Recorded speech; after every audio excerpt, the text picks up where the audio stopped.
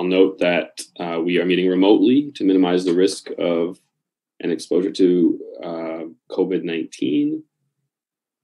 And uh, there are virtual options for the public to submit comments for the public meeting as authorized under Minnesota statute. Commissioners are calling in, and the meeting is viewable via uh, webcast and TV options. And the video is also posted on the website, uh, usually two days after the meeting. I'll now ask the secretary to please call the roll.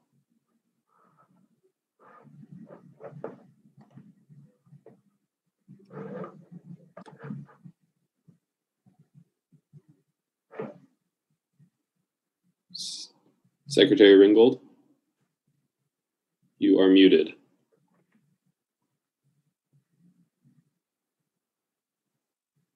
We still can't hear you.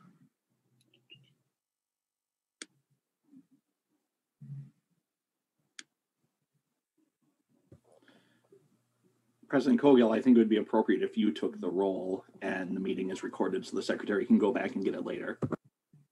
Let's, let's see now. Are you able to hear me now? Yep. I can. Okay. All right, and just, it's always a little confusing. It's muted on my screen, but it's on live in the AV, ro- or in the boardroom. So you are televised live in the boardroom. Okay, uh, Commissioner Bourn, Here, Commissioner Musich, Present. Commissioner Hassan,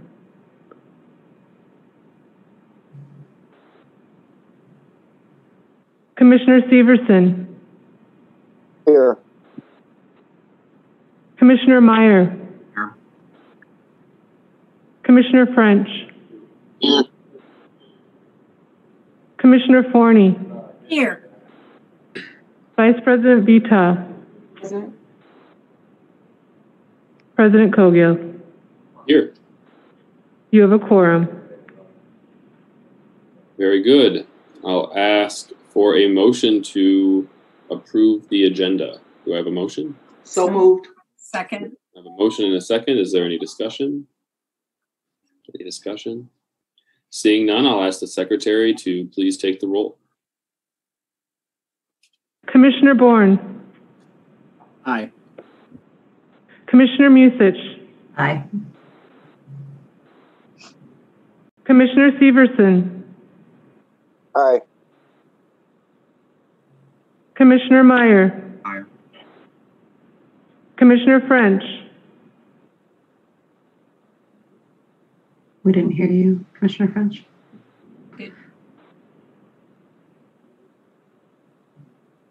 Did you hear me? Commissioner French, I can, yep, there you go. Commissioner French. Aye. Commissioner Forney. Aye.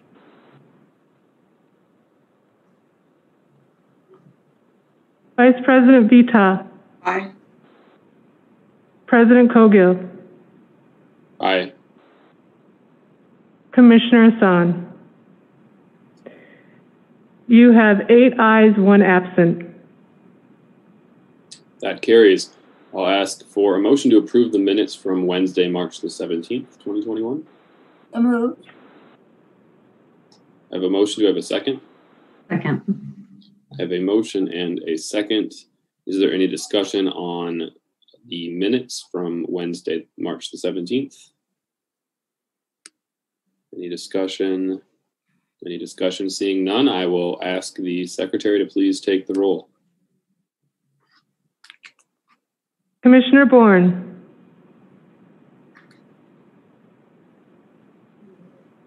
Aye. Commissioner Musich. Aye. Commissioner Hassan. Commissioner Severson. Aye. Commissioner Meyer. I saw it, Meyer, but I couldn't hear it, Commissioner Meyer. Aye. Perfect. Commissioner French.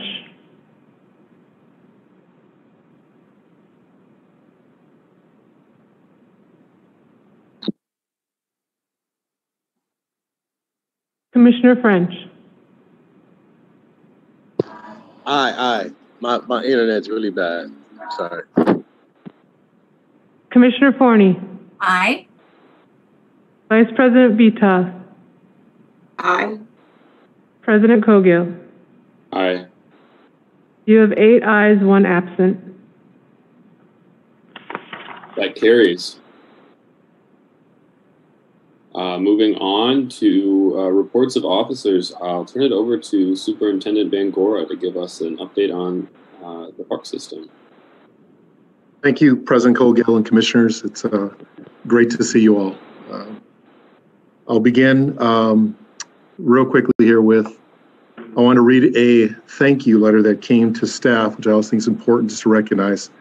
Uh, And if you give me a moment, I'll go through the rest of the agenda, of course, the rest of the updates. But this is a quick thank you that we receive kind of quite often, but it's just good to, it's good to give an update and uh, let you hear some of the great comments that we hear from our residents. Uh, I just wanted to take a moment to thank, uh, it's to Evan, Emily, Anthony, Nick, and everyone else at the arena, Dice Arena. I want to take a, I just want to take a moment to thank you all for your help at the arena and with all the administrative stuff this year. To those that I interacted with directly and to those behind the scenes, I know that the challenge this year, um, this has been for all of you, all of us really. Through it all, you have been terrific in, in your work with and have made this almost impossible situation so much easier to navigate. On behalf of the many Thursday night group, and from the bottom of my heart, thank you for all your perseverance, dedication, and thoughtfulness. The park board should be very thankful that they have such an all-star team running their arenas. Here's to next year when it should be much easier and much more enjoyable for all of us. I just wanted this from Tom, uh, I think it's at Welty. I just wanted to read that uh, just to show some of the things that we re- do receive about the great work that our staff does every day in our park system. So um, thank you for that, um, Tom. Thank you for that letter. And thank you to Evan, Emily, Anthony, Nick, and everyone that works our ice arenas. I appreciate it. Aquatics. Since we've returned to the pool after the new year, Aquatics has had 132 lifeguards registered to take the American Red Cross lifeguard course with us at Phillips Aquatic Center, PAC. The majority of course participants are ages 15 to 20 years, to 20 years old. This year, uh, the school year, the Junior Swim Club has given youth an after-school opportunity to participate on a swim team and stay healthy during this pandemic. So far, the school year, 259 youth have participated, and 97% are Minneapolis residents. The final Junior Swim Club runs from April 5th through May um, May 14th. Uh, adult athletics. Adult athletics has over 600 teams registered for the spring season, and registration continues to climb. We are proud to be offering new adult opportunities this spring, including grass volleyball and broomball. Um, great work um, by our adult sports staff. Congratulations. Golf. The golf season kicked off on Saturday, May 13th, with the opening of the driving range at Columbia Golf Course and the golf course opening over the next couple of weeks. Golf is off to another fantastic start in 2021 with over 8,000 rounds played and a $600,000 in revenue. By comparison, we did not have our first round of golf played until April 18th in 2020. A really huge thank you uh, to the golf staff and for their hard work getting the courses open early for the 2021 season. Youth sports, youth track. The youth track and field season starts in May. We currently have 141 youth registered to participate. So really, it's important, of course, to sign up at your local park and get involved. Youth basketball. The youth basketball season has uh, the youth bas- baseball season also begins games in May. Uh, we currently have 244 youth registered for baseball and 91 girls for softball. Fun on the Run. Fun on the Run will be uh, at five locations uh, during spring break this week. Um, the programs run from 1 to 4 o'clock p.m. Monday through Friday, April 5th through the 9th at Luxton, East Phillips, Folwell, Lyndale Farmstead, and Sibley. Great numbers on Rec Plus. It's kind of getting back to normal a little bit, so it feels really good. So thank you to the staff for the great work to do into that, for that. Rec Plus, Webber, Webber Rec Plus Egg Hunt. The kids searched for nearly an hour. They had a blast searching and opening their eggs. Spring has sprung. It's great to see those kids out there. Uh, Rec Plus Citywide Book Club. As part of our racial equity work, we're going to incorporate a citywide book club. The goal of the book club is to read one of the book's selections one once per month with the children. After reading the story, staff will have a brief discussion with the children to see what they took away from the story. There are no right or wrong answers and what they took away or learned. The following are examples of recommended books. Um, and of course, drawn together by um, Amelie Byers and I Am Enough by Grace. Recreation centers, uh, Park. Hennepin County grant success. Waite Park finally has installed new outdoor adjustable basketball courts for the public to enjoy. Two hoops were purchased through Hennepin County grant program with help from the Waite Park Community Council. The loops are the hoops are adjustable so that all ages can enjoy playing. Great news, and thank you to Hennepin County Grants. Folwell, Kempo martial arts class are committed to the promotion of the martial arts and the benefit of mankind through the teaching of humility and self-restraint. Classes are open to all experience levels, where participants learn Kempo martial arts techniques, practical self-defense, physical conditioning, and character development. East Phillips, Youthline staff and community youth used solar playhouse kites and the vision of designing a solar park house. They utilized one of the kits, kits, I said, sorry, kits, and added to the creative process using recycled materials at the park. The solar park playhouse kits were a great activity and really inspired the youth in the areas of design, architecture, and solar power. Keewatin, staff at Keewatin handed out the PYO or paint your own cookie kits for Easter and spring. Each kit include edible paint and a small paintbrush so participants could easily create the colorful cookie design. Customer service. Customer service community events unit has been busy. Staff have transitioned the annual Minneapolis International Festival to a virtual experience. The event is typically held at Central Park Gym. However, with COVID restrictions still in place, went with the safe with the safe alternative. This virtual event will be on the Park Board website from March 17th through April 11th. The virtual event will showcase the many different cultures in the city of Minneapolis and surrounding communities with music, dance, art, food demos, and more. There will be dance groups from Peru, Egypt, and Ireland, cooking demos from Native American chefs, and various artworks from cultures from cultures all over the world. Sounds like a really great event, so uh, please uh, get involved. Nice Ride. Nice Ride Bike Share launched for the season today. Uh, over the past couple of weeks, Lyft has worked to execute installation and unhooding um, of bike share stations all over the city and within the parks. The license agreement provided MPRB customer service staff a structure needed to make some minor adjustments to locations and set the stage for another great season of cycling throughout the city and within the Minneapolis parks.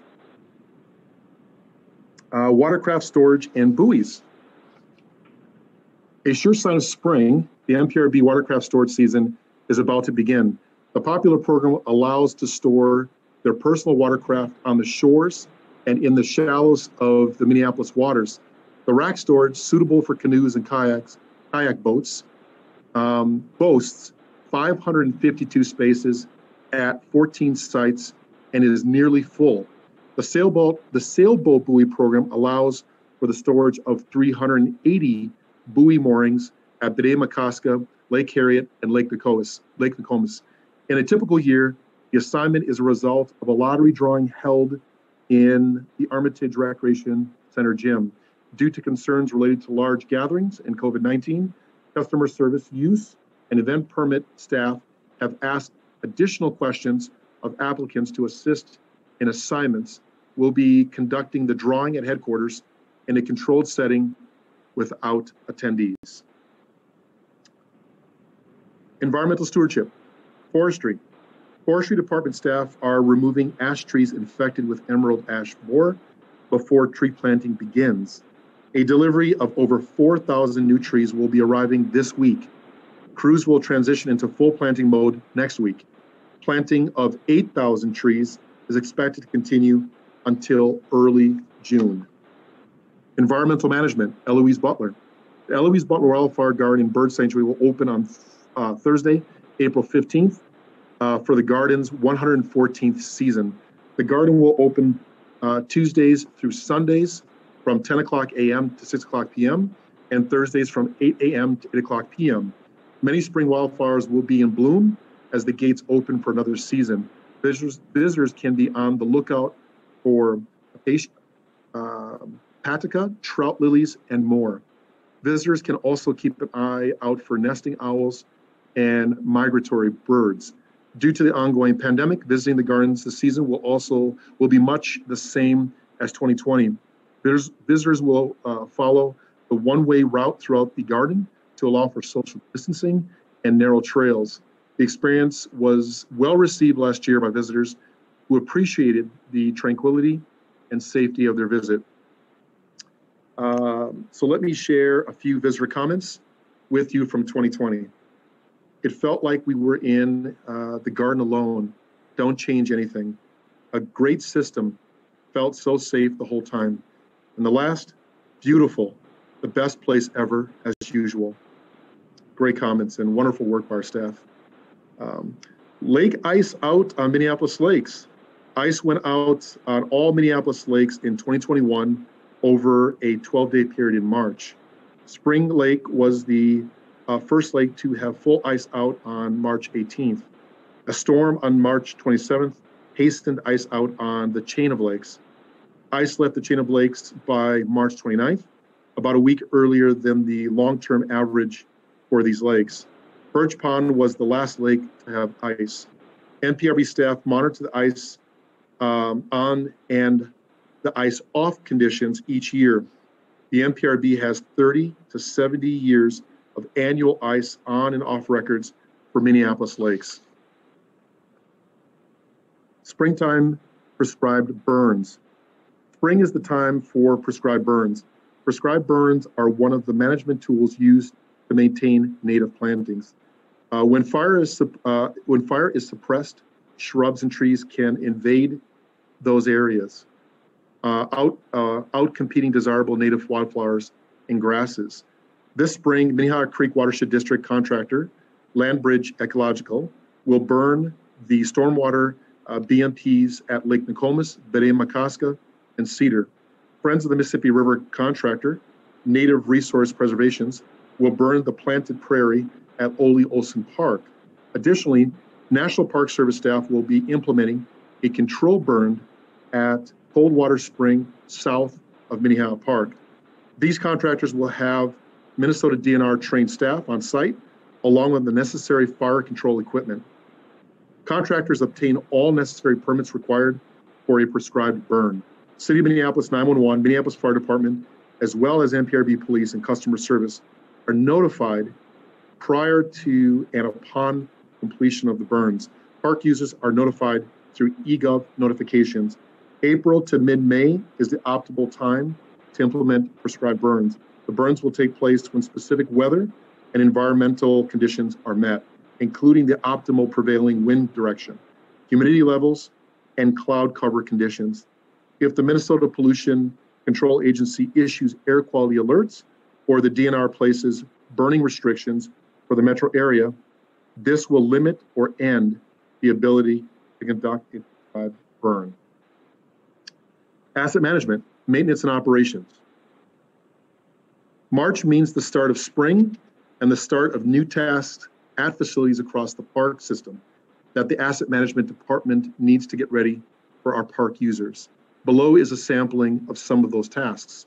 Sweeping paths, readying and deploying equipment to workspaces, removing snow from hockey rinks and opening drains in uh, skating rinks, removing graffiti from uh, totter cans, and establishing load pack uh, trash routes. The crew will also be repairing tur- uh, turf damage caused by snow removal machines. Setting up, and what you see is setting up, installing batting cages and ball fields. Also uh, reinstalling tennis court nets. Um, and the team is also inspecting boats to make sure that they're ready for the season. Uh, we are inspecting and replacing parts as needed, oars, oar locks, or sockets, etc. Boats also get a good cleaning and inspection to make sure that all have anti-skid tape at the bottom.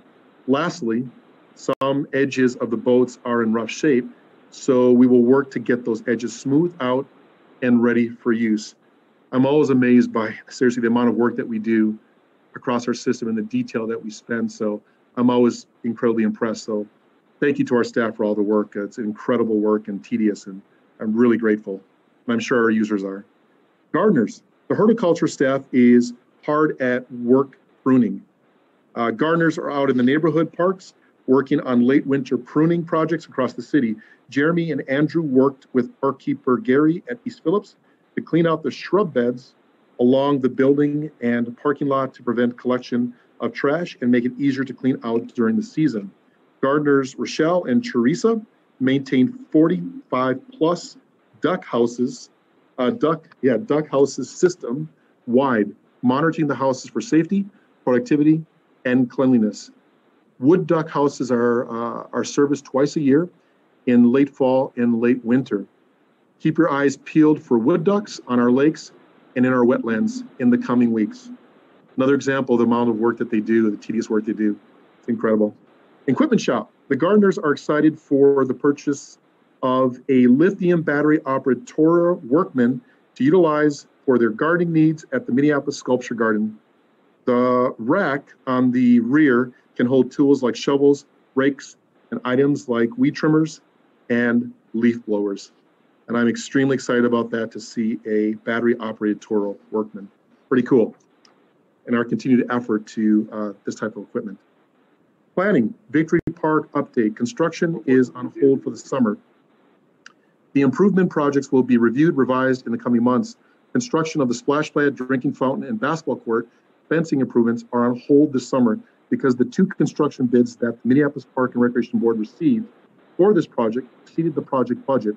This project is based on the North Service Area Master Plan, which was adopted in 2019 and included guiding principles for aquatics in the area and our master plan for Victory Park. Here's what the next, here's what's next for the project. MPRB staff and consultants will revise the project and schedule a meet the, uh, and schedule to meet the available budget.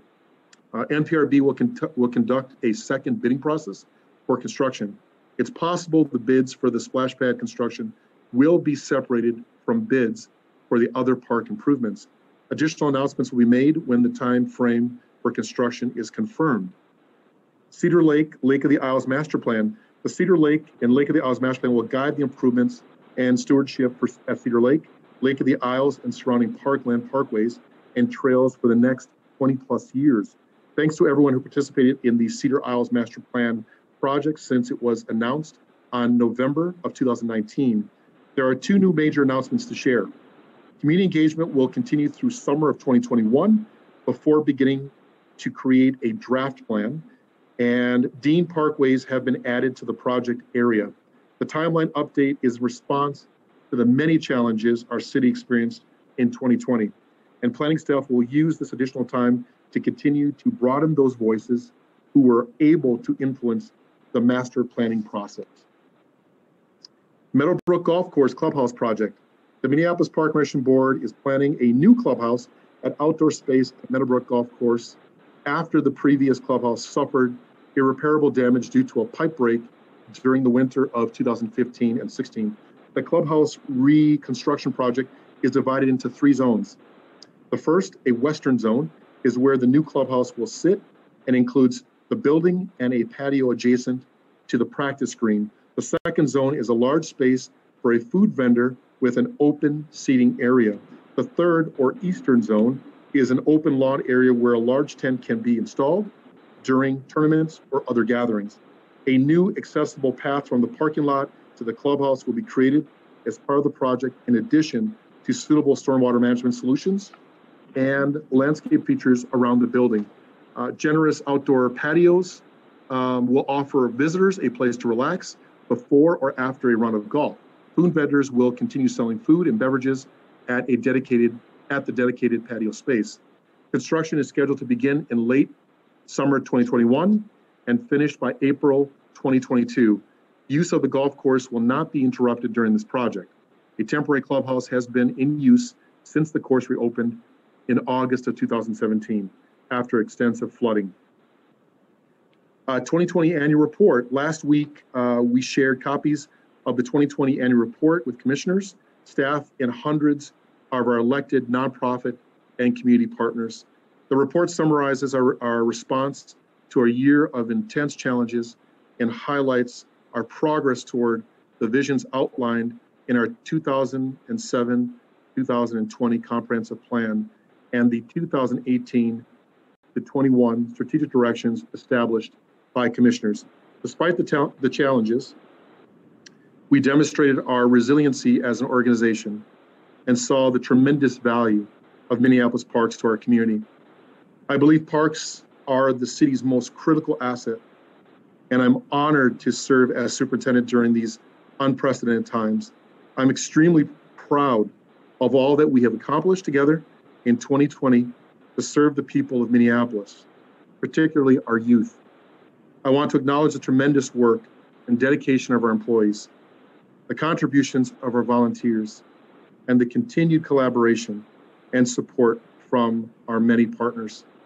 Due to COVID and so many people continue to work from home, this year we printed a limited number uh, of the annual report and are encouraging people to read it online at www.minneapolisparks.org backslash annual underscore report. And I believe that is my final report. I think I made it before 5:30, President Cowgill. and I apologize, a lot of information, but it's always good to share with our board and our community. So thank you for your time. Thank you, Superintendent. Does anybody have a question for Superintendent Bangoura? Uh, uh, Vice President Vetaw. Thank you, President Cowgill. Uh, thank you for that great presentation, Superintendent Bangoura. I have a question that's unrelated to the um, the presentation the presentation you just gave. I intended to include this in the um, the resolution about hiring a grant writer, but wanted to know if you could provide any updates. Um, I would appreciate quarterly Oh, updates, but if you could um, Sure.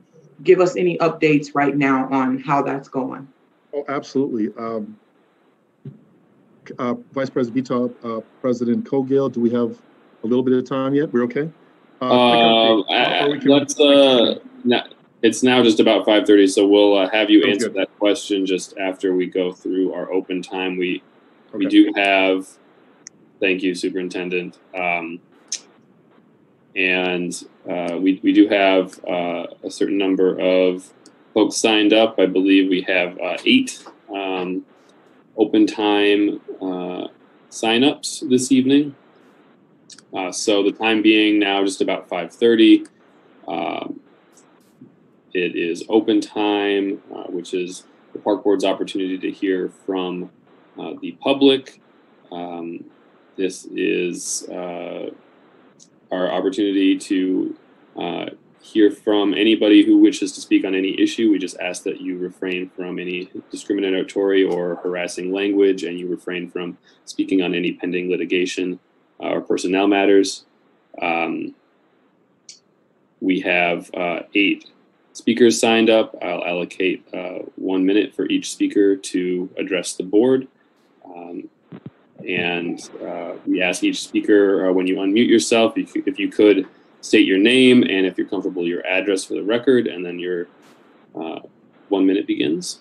Um, I'll ask uh, our s- technical staff here if we have our first speaker um, logged in. Um, that's Nathan Helgeson. Is Nathan on the line? Uh, can you give me a second, uh, Mr. Cowgill? Yes. Like one minute? Yep. Thank you.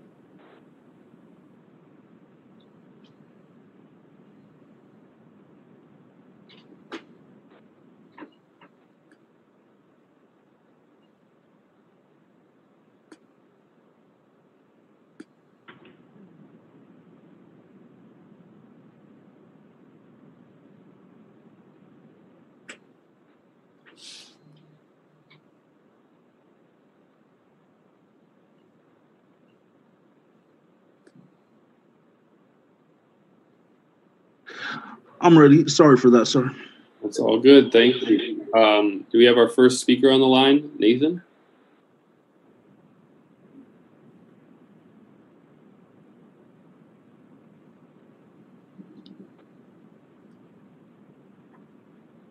Do we have Nathan on the line, or should I go to the next person? Uh, yes, Nathan is on the line. Very good. Thank you. Nathan, uh, you can go ahead, state your name and uh, your address if you're comfortable, and you have one minute to address the board. Thank you very much. Um, my name is Nathan Helgeson, uh, 6401 Lyndale Avenue South.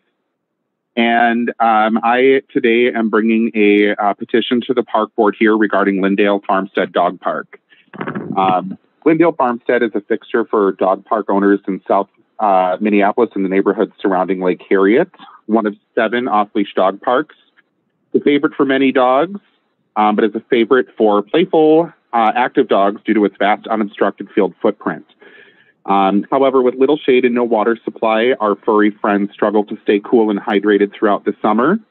Many park goers bring bottles of water in an effort to fill water bowls, but with no facilities nearby, water quickly disappears on hot summer days. This combined with limited shade means our dogs are at an increased risk of heat exhaustion. Additionally, winters in Minnesota mean early sunsets and a dark park, and many dog owners do not feel safe attending the park after the sun has gone down. With sunset beginning as early as 4 p.m. in the winter, this leaves many working people without a safe off leash dog park option. The solution we, the undersigned, are seeking is the installation of a drinking water supply line and a floodlight or lights at Lyndale Farmstead Dog Park. Um, Minneapolis Parks and Recreation currently collects license fees for the use of off leash dog parks. And we, the community that has helped finance the establishment and continued upkeep of Minneapolis uh, off leash dog parks through taxes and license fees, would like to see some of those funds allocated to the installation of the drinking water supply line and floodlights. Um, we you. do believe that these additions, I'm sorry? You could wrap up your comments. Um, I will just let you know um, the petition has 410 signatures from park goers um, that are in support of this. Um, and any further information uh, or communication, I'm happy to to provide. Thank you. Thank you, Nathan. And if you could submit uh, your uh, petition to the secretary of the board, um, that would be uh, great. Our next speaker is Jennifer David. Is Jennifer David on the line? Uh, no, that person is not on the line. Okay. Do we have John uh, Schwerman? Yes. All right. Uh, John, if you're there, if you could unmute yourself and uh, Um, that are in support of it. Um, and any further information. Uh, you could mute the live stream behind you. That would be Nathan, and if you could submit uh, your uh, petition to the secretary. Hello. Hello. Uh, John, you can state your name if you're comfortable, your address for the record, and you have one minute to address the board. Go ahead. My name is John Sherman. I'm at 3837 18th Avenue South in Minneapolis near uh, Lake Hiawatha. And I'm just calling uh, in support of the lake and uh, urging the park board to support the master plan. I think um, everyone agrees that there are deep problems affecting the lake and the parklands. And this is a chance to um, take real action uh, on those issues. And if that's not done, it's it's basically just kicking the problems down the road. So, um, you know, I think uh, everyone agrees that uh, storm sewers running directly into the lake is not a good idea. I don't think anybody thinks a polluted lake is acceptable. Um, so, you know, I just hope that um, the board will choose to act on this issue and uh, clean up the lake, restore the wetlands, and help build flood resiliency and uh, create access for the broader community. Thank you. Thank you, John. Our next speaker is Anthony Scallon. Is Anthony on the line? thinks that polluted lake is acceptable. Um, so, you you know, I just hope that, uh, Um, hello? Hello, Anthony. You can uh, go ahead if you state your name and if you're comfortable, your address for the record. You have one minute to address the board.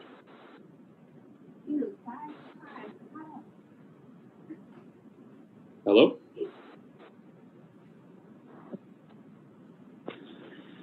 Uh, President Cowgill, are you calling on Sean Conity? No, I was I was looking to have Anthony or Tony Scallon speak. Okay. Okay. But it appears he is not on the line. So, uh, Sean, go ahead. Um, you are next on the list. So, if you'd like to go ahead, you may. Okay, you can hear me. Yes. Right? Go ahead. hmm Thank you. Hello? No, I was I was looking to have Anthony or Tony Scallon speak. Okay. I'm trying to speak. Go ahead, Anthony, if it's okay with the commissioners. Yeah, Anthony, if we can hear you, we can hear you now.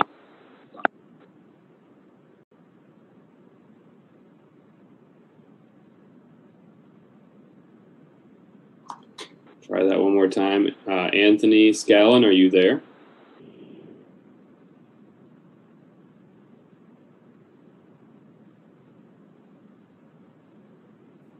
Okay, I'm not hearing Anthony, so I'm going to call on Sean Conity to unmute yourself, and you have one minute to address the board. And if we could keep everybody else muted, that would be great.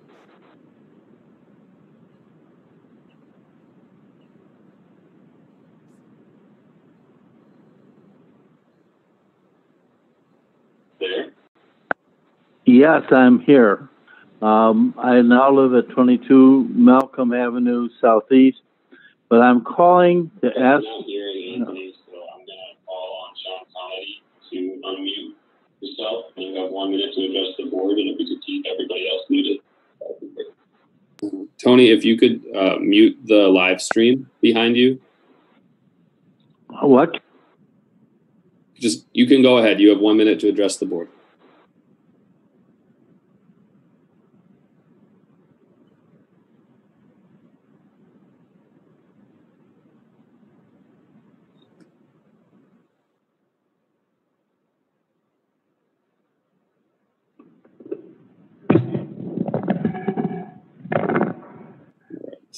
Um, we're gonna have to move to the next speaker.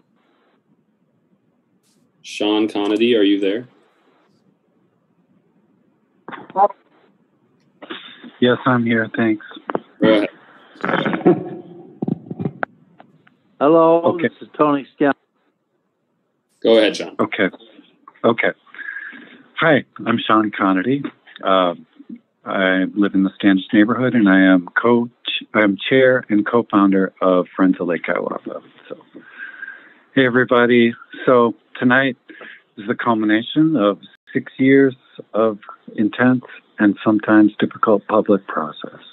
So I'm hoping that you'll approve the plan to preserve Hiawatha Golf Course for future generations by making it ecologically responsible, sustainable, climate resilient, and more equitable. It has been my honor to get to know you all these past six years as I've, as I have worked with you and the community on the issue of environmental justice to bring long overdue changes to our collective stewardship of Lake Hiawatha, our public park spaces, and our waters. We have worked through painful and difficult times to find a compromise. And I want to thank my fellow CAC members for their dedication. I want to thank the Friends of Lake Hiawatha. Our work represents thousands of hours of labor and hundreds of volunteers. We have removed more than 8,000 pounds of trash, removed invasive species, planted hundreds of native plants. And uh, the work, we represent the collective hopes of a future that realizes the reciprocity I know we can achieve together. I'm, we are excited about the trash pickup amendment added, and we fully support and applaud the amendments Commissioner Vetaw has crafted for this plan. Thank you so much. Hello? Thank you, Sean. Hello, Tony. Go ahead. You have one minute to address the board. Yes, we can. Please continue. Okay, I just am calling to ask you not to adopt your new business. We ought to be able to talk about this. This is news to the people I'm with in the senior caucus who will suffer as you start to close the parkways. Um, I don't think the pandemic should allow us to uh, keep seniors and handicapped off the parkways. I know this isn't quite there, but the rumor is you will soon adopt a new resolution closing all the parkways like you did last year. I urge you not to do the new business and send it for a public hearing. Thank you. Thank you, Tony. Our next speaker is Roxanne Stir. Is Roxanne on the line? No, sir.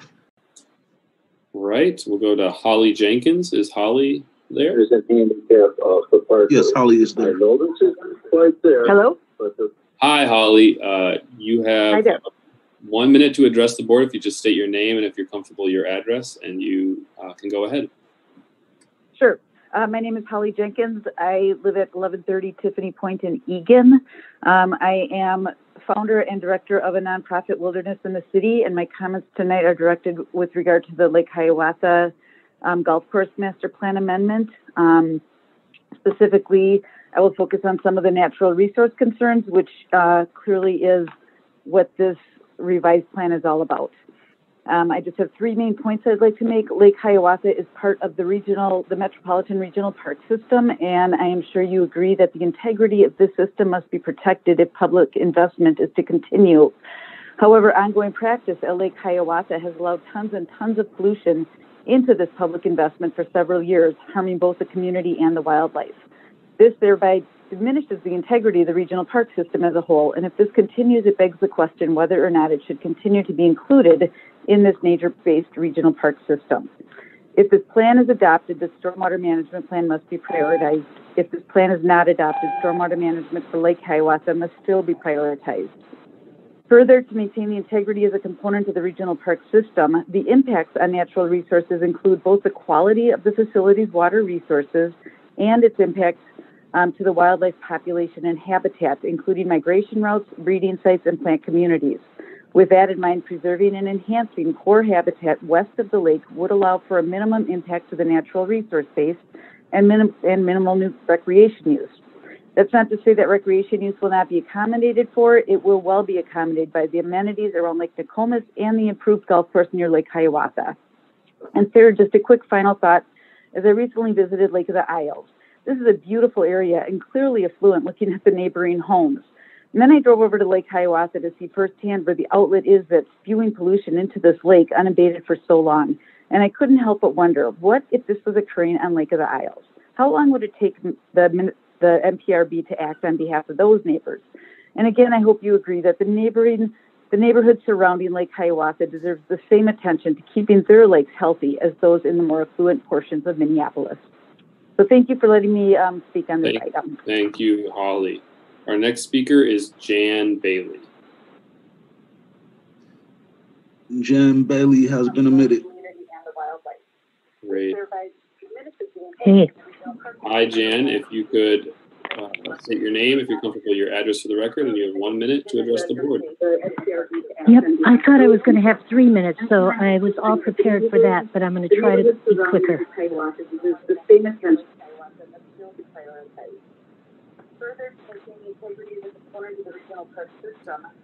Go ahead, Jan. You have one minute. Okay. Um, I'm Jan Bailey, and I also live near the uh, Lake Harriet Park. Um, I'm calling in today in support of the Lake Hi- Hiawatha Golf Course Master Plan. Uh, like Meg Forney, I was around in the 1990s and concerned about the parks, and at that time I was able to watch the unfoldment of the plan to address or to save Lake Cal, then Lake Calhoun. You know, the lake had become so polluted from watershed runoff, chemicals that would kill the lake eventually if not stopped. And brave individuals on the park board and city government stood up to find the money, uh, piece it together, and uh, plan the catchwater basin on the southwest end of the lake, which filtered out chemicals before they reached the the lake, and it worked. Your own 2015 report shows that the uh, the filtering worked. So the result today is a very vibrant lake, Bde Maka Ska, which continues to delight users, add qualitative and financial value to the city, and serve as a jewel in our system. So I'm right calling today to ask uh, for two key issues to be put really to stood up for water purity and community equity. So the problem of garbage pollution in Lake Hiawatha is huge, as you all know. And Sean mentioned the eight tons. That's the weight of four average mid-sized cars. All the junk that is there. Um, if this deluge of debris isn't stopped, there will be no willing volunteers. I spent um, two and a half hours in a two by two square foot spot on the shoreline in 2019, and it just was backbreaking, but I made barely a dent in the layers of garbage intermixed with organic matter. Social psychologists have known for at least 20 years that individuals feel better and behave better in a physical environment of beauty and order. Thank you, This is another. Oh, your comments. uh, one more sentence. Yep. This is an instance where, where the investment in purity, beauty, and healthy order of our parks brings guaranteed paybacks. It fosters a populace that appreciates and feels appreciated, thus making for a thriving community and a future of promise. Thank you. Thank you very much, Jan. Do we have uh, Jennifer David on the line? Uh, no, the next person is Sean. Last name starts with a G. Do oh Sean Gajowski. I do have uh, Sean here. Uh, is is Sean on the line? Yes, this is Sean Gaszewski. Sean, uh, you go ahead. You have one minute to address the board.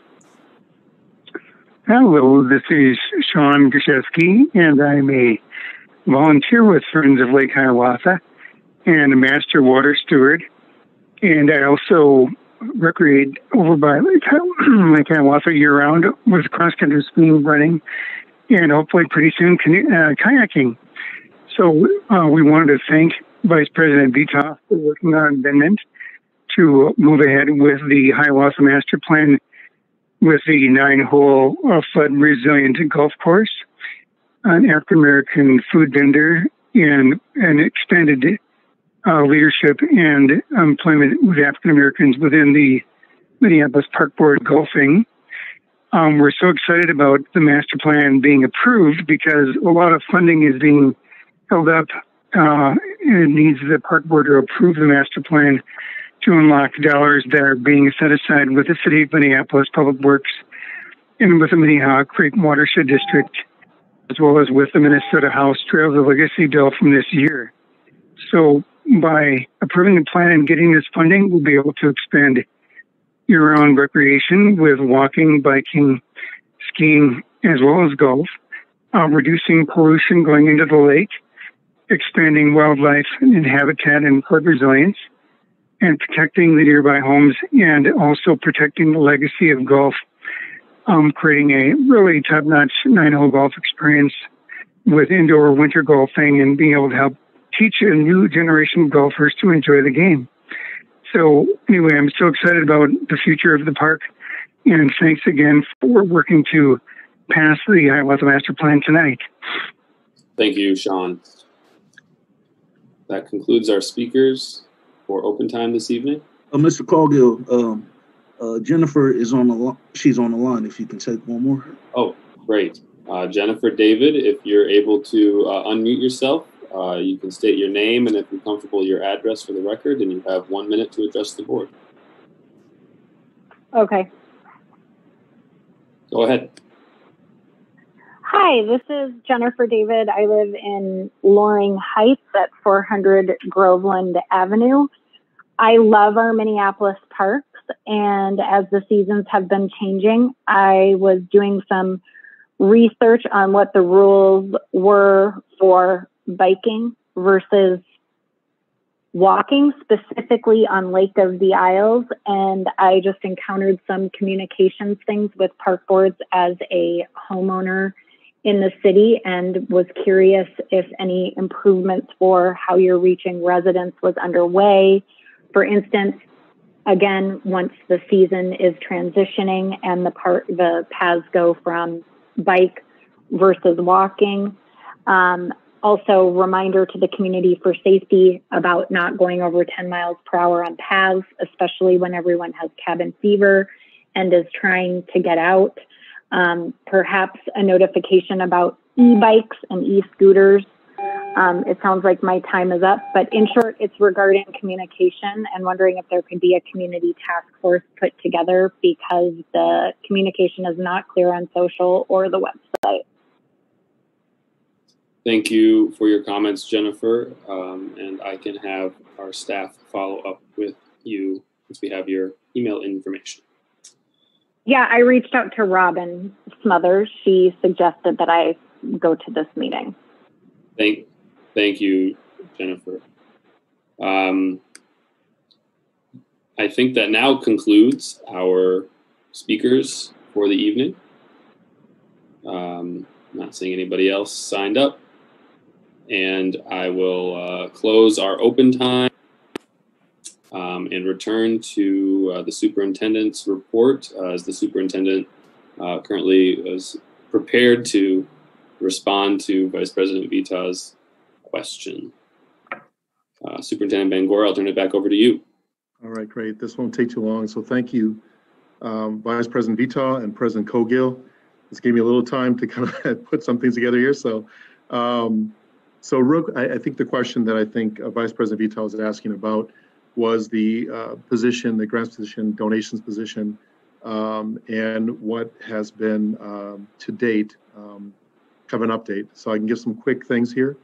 Um, particular in the new funds, as you will see in Resolution 2021-163, we submitted a proposal and was awarded $259,000 from Youthprise for the 2021 uh, to 2023 for expanding um, the reach and effectiveness of existing culturally relevant street reach outreach efforts, um, identifying um, additional outreach workers, providing connections to resources, connecting youth to workforce training and employment, and engaging youth in developing their own solutions to address violent crime. Um, trainings will be provided by Youthprise, uh, Mentor Minnesota, and the Search Institute. So we're extremely excited and very proud of that. I think um, Heidi can give more information on this eventually, but I believe it's 100,000, 100,000, I think 53,000 or 59,000 in the next three years. And so very, very proud of that and very excited about that because it's doing direct work into our communities. Uh, a couple more things. Uh, Comcast Lift Zones, as you all know, the work of um, Heidi and with staff worked, with, excuse me, worked with Comcast, staff and ITS for the installation um, for lift zones at, at 42 recreation centers and of course other MPRB facilities. Uh, currently, um, she's working on developing standards for programming for lift zones. Uh, something really exciting too now, as you know, the Scholarship Fund ActiveNet funding raising campaign. So we, um, she drafted a guidelines for the scholarship requirements to review, of course, it's coming soon to, to the Recreation Division, and also leading the campaign committee of MPRB staff to launch the ActiveNet donations when registering for programs. And we talked about Roundup, but this is a really exciting time that we can continue our scholarship program through any resident walking into a facility and donating and supporting our programs. So very excited about that as we continue to look at ways of assisting and supporting the youth of Minneapolis.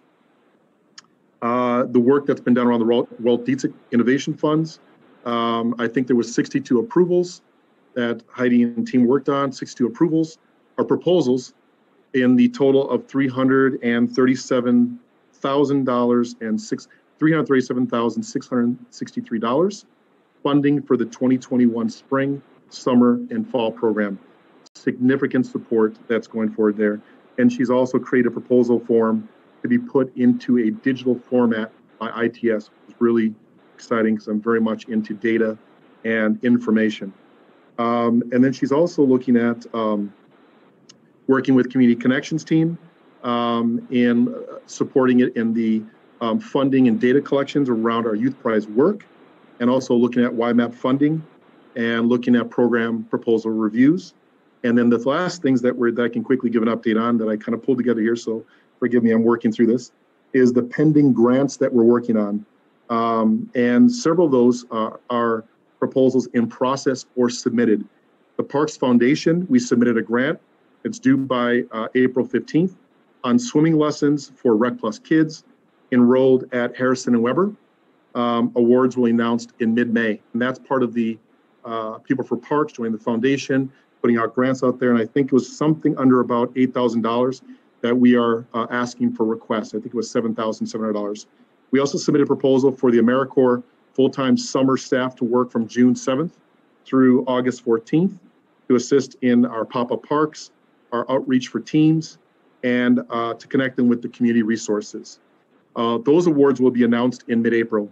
And the last one, which I'm really great that she tracked this down, was the Minnesota Department of Human Resources, homeless assistance, funding for outreach to encampments due April 15th, awards announced in May.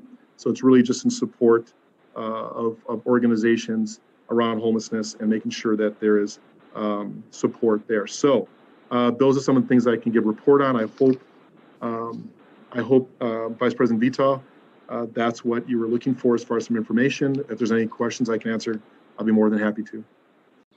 Superintendent, you uh, definitely answered my questions. Thank you so much. It seems that this position has paid for itself and then some already in the first quarter. So thank you.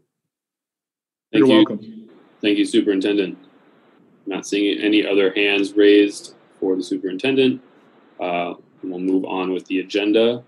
Uh, I'll ask for a motion on our consent items.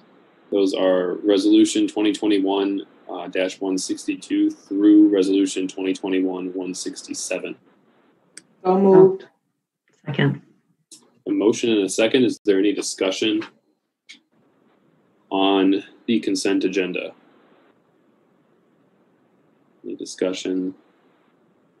Any discussion? Seeing none, I'll ask the secretary to please take the roll on the consent agenda business.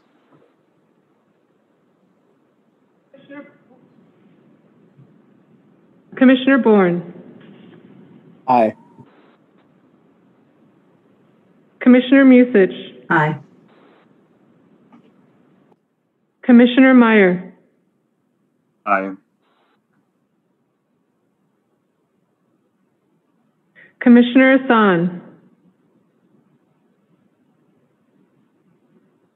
Commissioner Severson, Aye. Commissioner French,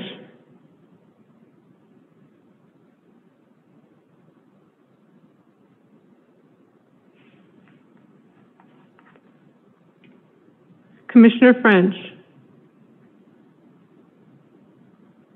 Commissioner Forney, Aye.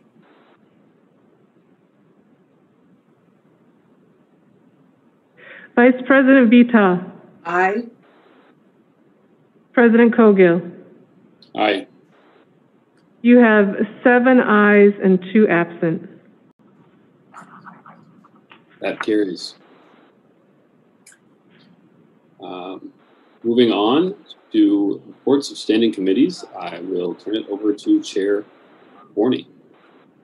On behalf of the Administration and Finance Committee, I'd like to move Resolution 2021-157, resolution, resolution authorizing the execution of a purchase agreement with BC Properties LLC for the acquisition of a park site in the North Loop neighborhood of Minneapolis, Minnesota for $2,101,000, $567, including base park improvements.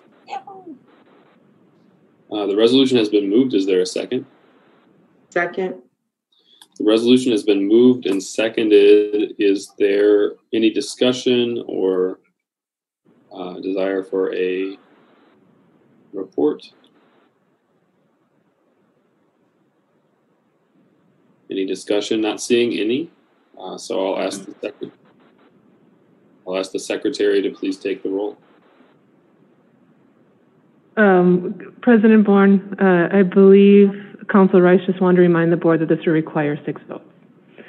Or President Cowgill, I'm, Thank you, thank you. Uh, thank you. Okay. Lewis. And uh, Secretary Ringgold, that sounds good. Um, So this does require six votes, and I will ask the Secretary to take the roll. Commissioner Bourn, Aye. Commissioner Musich, Aye. Commissioner Hassan, Commissioner Severson. Aye.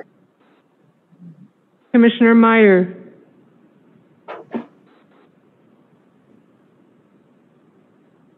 Commissioner Meyer. Aye. Commissioner French.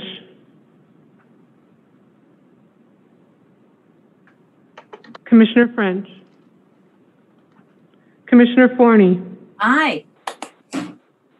Vice President Vetaw. Aye. President Cowgill. Aye. You have seven ayes and two absent. The resolution carries. Uh, Moving on to uh, our next report of standing committees, uh, Chair Meyer. On behalf of Planning Committee, I move Resolution 2021-158, a resolution approving the concept plan for Dickman Park improvements. The resolution has been moved. Is there a second? Second. Resolution has been moved and seconded. Is there any discussion or request for a presentation regarding the concept plan for Dickman Park?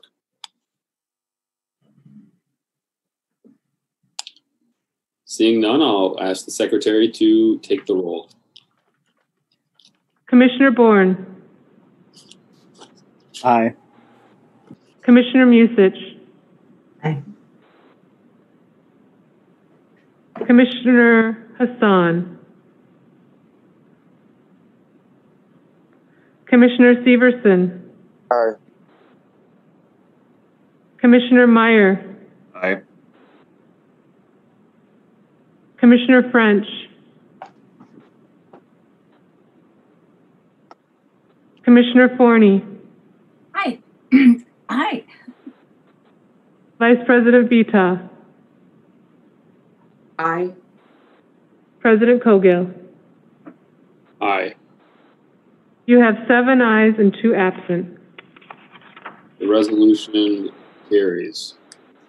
Move Resolution 2021-159, a resolution approving of the interpretive signage agreement with the Mississippi Watershed Management Organization for installation and maintenance of interpretive signage at the Skate Plaza at Elliott Park. The resolution has been moved. Is there a second? Second. The resolution has been moved and seconded. Is there any discussion or questions? Any discussion? Seeing none, uh, I'll say uh, thank you to uh, staff and to MWMO and to all of the partners who've made this skate plaza park possible. Uh, this is just another um, piece of the puzzle of creating a really dynamic space at Elliott Park, and uh, really grateful for all the work that's been done on this and for the support of um, many organizations and Hennepin County, um, MWMO, et cetera. So with that, I'll ask the secretary to please take the roll. Commissioner Bourn, Aye. Commissioner Musich, Aye. Commissioner Hassan, Commissioner French, Commissioner Severson, Aye. Commissioner Meyer, Aye. Commissioner Forney, Aye. Vice President Vetaw, Aye. President Cowgill. Aye. You have seven ayes, two absent. That carries. Move Resolution 2021-160, a resolution authorized the Minneapolis Park and Recreation Board staff to apply for grant funds through the 2021 Skate Park Grant Program for skate park improvements at Central Gym slash Park located at 3400 4th Avenue South, Minneapolis, Minnesota. Resolution's been moved. Is there a second? Second. The resolution has been moved and seconded. Um, is there a discussion? Uh, Commissioner Bourn. Uh, thank you, President Cowgill. Um, Superintendent, this is just a question related to our grants program in general. Um, I, I have considered applying through uh, applying through this program in the past. In fact, I, I think we may have at different times. Um, and, and so I, I'm just looking for some context. There was an assertion made that our grant writer position has paid for itself already, but I like I, I know we've applied for grants last year and the year before and the year before going back better than a generation. So I'm wondering if we could just do some compare if we can receive for our next meeting just a report of how many um, grants and partnership contracts that we received that the Minneapolis Park Board received in 2020, uh, 2019, 18, going back to 2015 without a grant writer position. Yes, President, President, or sorry, uh, President Cowgill, uh, Commissioner Bourn, I can do that. Uh, I will go back and get some more information on that. Thank you, Superintendent. You're welcome. Any other discussion to the resolution 2021-160? Seeing none, I'll ask the secretary to please take the roll. Commissioner Bo- Commissioner Bourn, Aye. Commissioner Musich, Aye. Commissioner Hassan, Commissioner Severson, Aye. Commissioner Meyer, Aye. Commissioner French,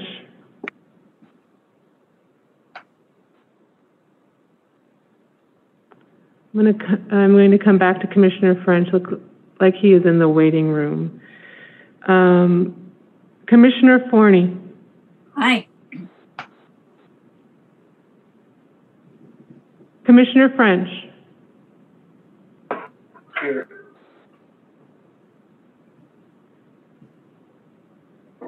Here.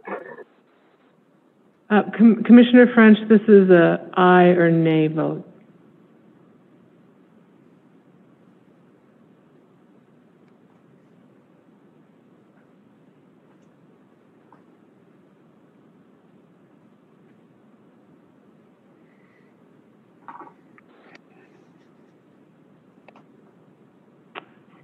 Commissioner French,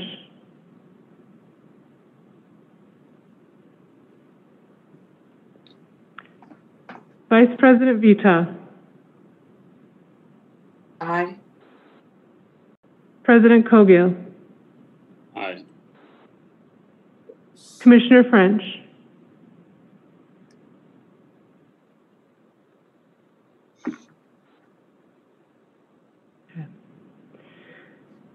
you have seven ayes, two absent.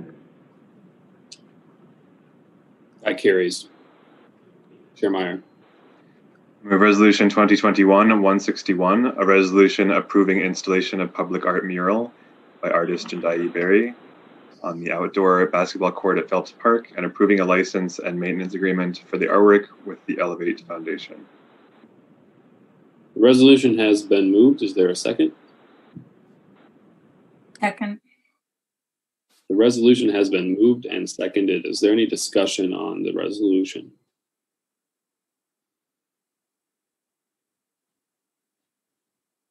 Any discussion? Any discussion? I'm not seeing any. Uh, thank you to staff for moving this forward. I hope that many, this is the start of a beautiful tradition and that many more basketball courts will be decorated with unique murals throughout our system. Um, and uh, with that, I'll ask the secretary to please take the roll. Commissioner Bourn, Aye. Commissioner Musich, Aye. Commissioner Hassan, Commissioner Severson, Aye. Commissioner Meyer, Aye. Commissioner French, Commissioner Forney, Aye. Vice President Vetaw, Aye. President Cowgill.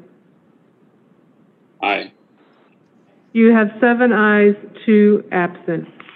Point of information, President Cowgill. That carries. Uh, yes, Commissioner Bourn, what is your point of information? Um, I, I just wanted to clarify for the record, not to not to erase any artists that have already been working with the Minneapolis Park Board. We we already do have several beautiful on uh, on basketball backstops throughout the park system that have done that have been produced by an array of diverse artists, and I just I hope this is a continuation of a great con- tradition and not a start of a new tradition because again I, I don't want to erase those artists and those artists of color. Thank you, Commissioner Bourn.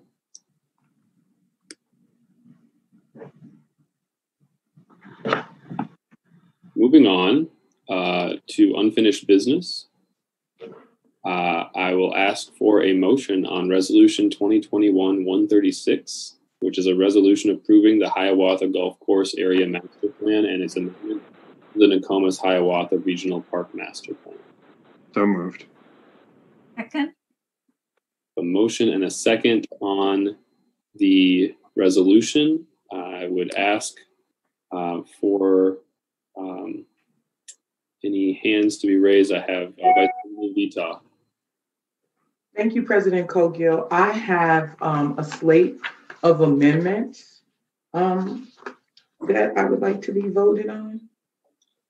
Very good. Um, if you could read uh, the headlines of those amendments.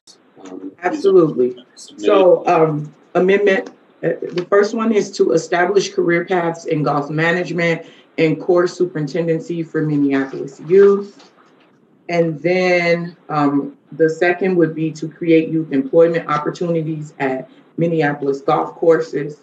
Celebrate culture through, the third one is to celebrate culture through vendor operations.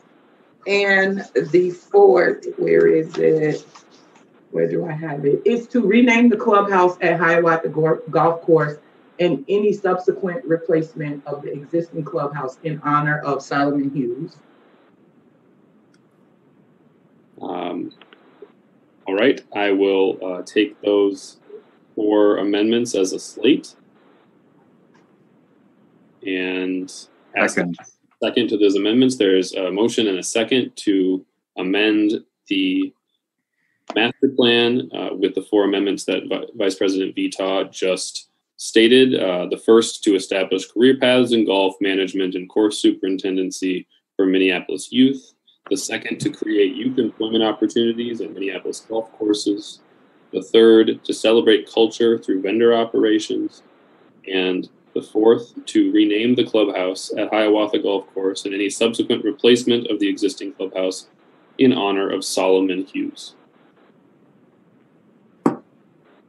Do we have any discussion uh, discussion on the uh, slate of amendments?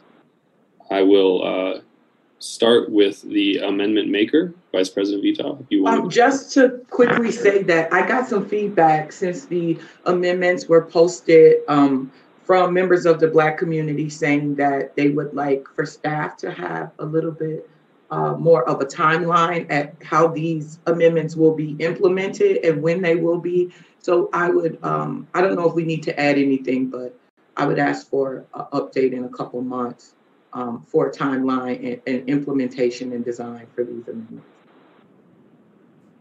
Thank you, Vice President. Is there any other discussion on the amendments?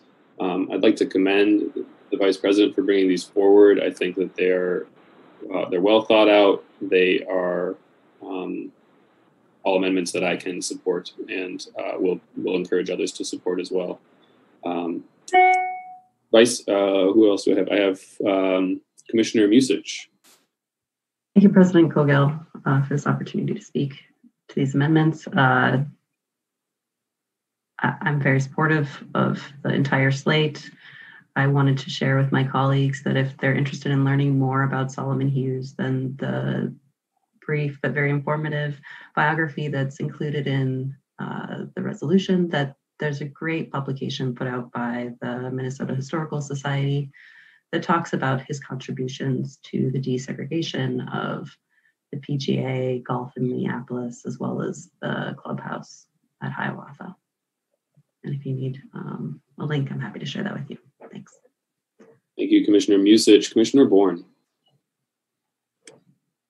Thank you, President Cowgill. Um, I just wanted to also state my appreciation for Vice President Vetaw's work on bringing these amendments forward. I, I agree that they're very intentional and well thought out, um, and I will be supporting making the amendments, and I'd encourage my colleagues to do so. Um, I do still have some reservations about the main motion, uh, and I'll be discussing those then. But I think that the if the main motion does pass, I mean, I think it's it would be great that these amendments are included. So uh, thank you, Vice President Vetaw, for that. Is there any other discussion on the amendments to the Seeing none, I'll ask the secretary to please take the roll on uh, the four, slate of four amendments to the Hiawatha Golf Course Area Master Plan. Commissioner Bourn, Aye. Commissioner Musich, Sorry about that. Aye. Commissioner Severson, Aye. Commissioner Meyer, Aye. Commissioner Hassan, Commissioner French,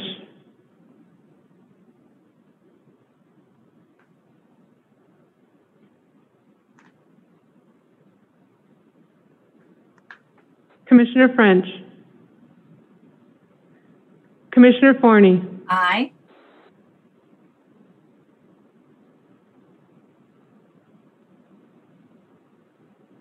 Vice President Vetaw, Aye. President Cowgill, Aye. Commissioner French, Aye. Aye. You have eight. I did. Thank you, Commissioner French. I have eight ayes, one absent.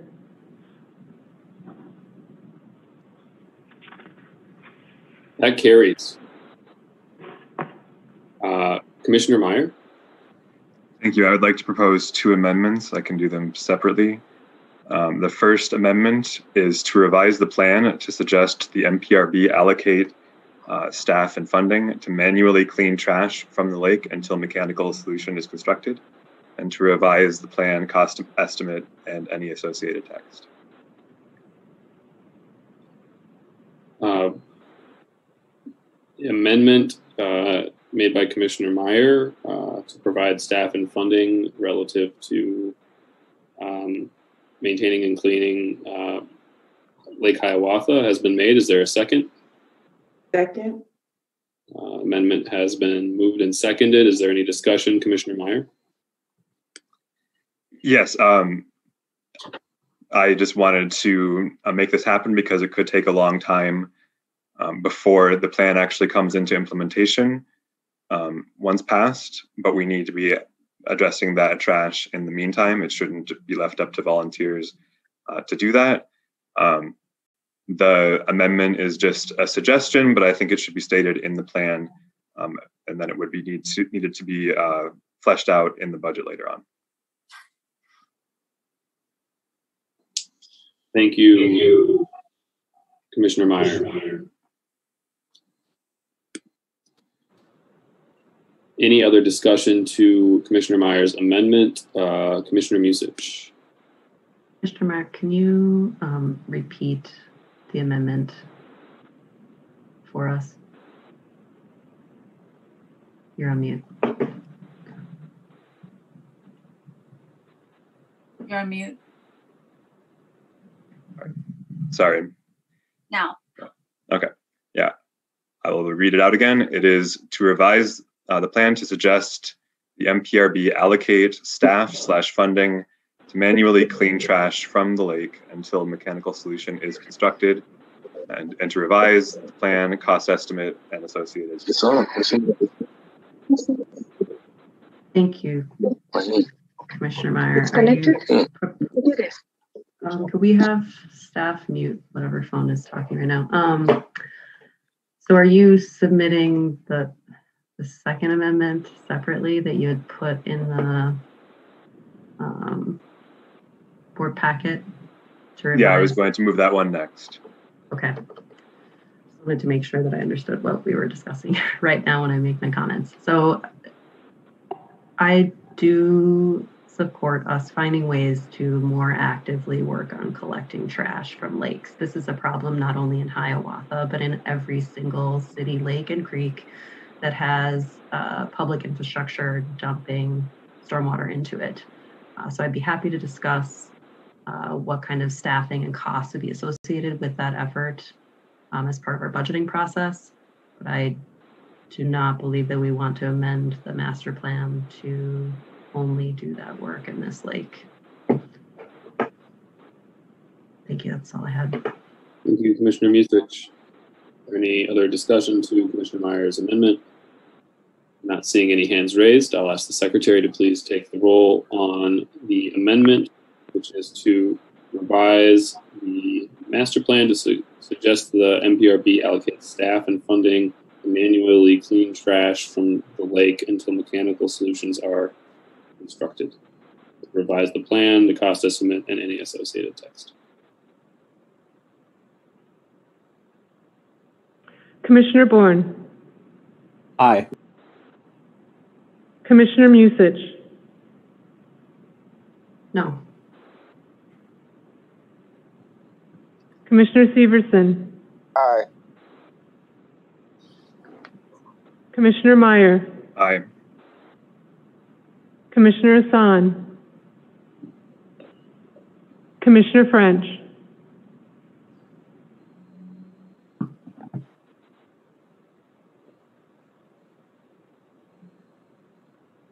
Commissioner French,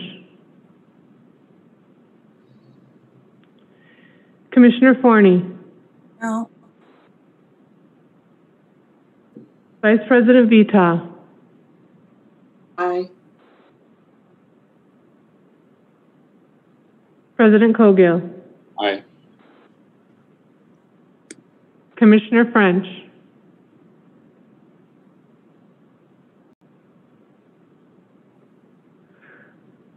Commissioner French,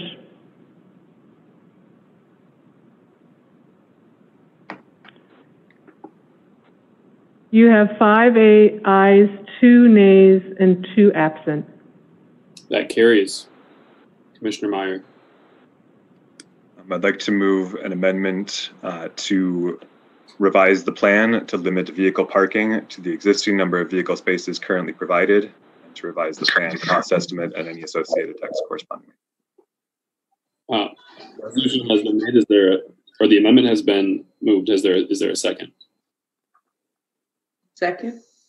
There is a motion and a second on Commissioner Meyer's amendment to the master plan to revise the plan to limit vehicle parking to the existing number of vehicle parking spaces currently provided and to revise the plan cost estimate and, and any associated text. Um, discussion, Commissioner Meyer. Thank you. Um, just to, just to speak to the amendment, uh, the plan as it's currently presented increases uh, the parking at the parking lot by, I think it was about 25% or so. Um, it would be the first time during my term, anyway, um, that we've expanded the amount of parking um, in our system. And I think we should be going in the opposite direction. Uh, in the city's 2040 plan, they identified the goal of having a 38% reduction in vehicle miles traveled. Uh, at the state level, uh, the state of Minnesota is, is um, putting forward a goal of reducing vehicle miles traveled by 20% on, on a statewide level. I think that's a really important goal for us to meet our, our climate goals. And, and, and this is one of the ways that we can be a part of that is to simply not expand uh, parking from what we already have. Um, so I would ask Commissioner to support this. Thank you, Commissioner Meyer. Uh, Commissioner Musich. Thank you, President Cowgill, for like allowing me to speak to this amendment. Uh, the master plan that we are considering this evening for adoption is one that significantly will increase the usership of this park.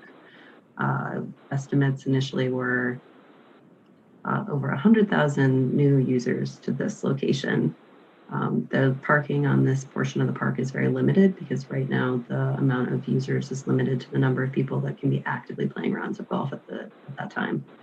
Um, the 25% increase in parking is a modest increase, and the neighbors are are already pointing to Minnehaha Falls as an example of what happens when you don't provide enough parking. It spills over into the neighborhoods and becomes incredibly disruptive to people's lives. So um, I will not be supporting this amendment. Thank you, Commissioner Musich. Uh, Commissioner Severson. Uh, I won't be supporting this uh, either. Uh, this this can be seen as discriminatory as um, Northside residents, um, particularly uh, folks, uh, want to drive uh, to this uh, facility and and use it. Uh, particularly if you're golfing, I, I don't know how many uh, golfers will be able to put um, golf clubs on their back and take a bicycle, or or if they have small children that they want to go golfing with. Um, it, it, could be this this could pose more of a struggle. So I'd ask my commissioners not to support this. Any other discussion from commissioners?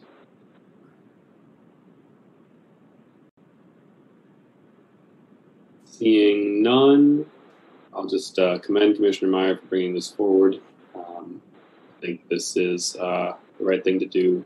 Um, yes, there will be more people visiting this site. We're also in the process of completely transforming our transportation system in Minneapolis to address major climate issues. Um, that are also the reason that we're considering this uh, particular plan this evening. Um, and I think this is the least we can do um, to ensure that uh, we are creating a space that's built forward thinking uh, and uh, that takes into account the major implication of climate change and its impacts to especially our most vulnerable communities. I'll ask the secretary to please take the roll on Commissioner Meyer's second amendment, and I'll read it one more time. It's an amendment to uh, limit vehicle parking to the existing number of vehicle parking spaces currently provided, or revise the plan cost estimate and any associated text. Commissioner Commissioner Bourn. Abstain. Commissioner Musich. No. Commissioner Severson. No. Commissioner Meyer. Aye. Commissioner Hassan. Commissioner French.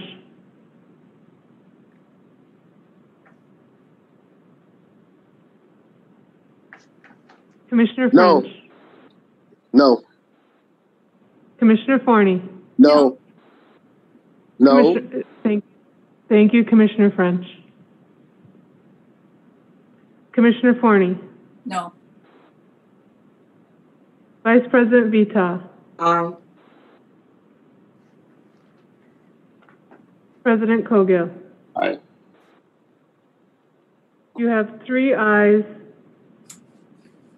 four nays, one abstain, and one absent. Uh, that uh, amendment uh, fails. Seeing no uh, other hands raised, I we're at the main motion now. Um, are is there any other discussion regarding the master plan?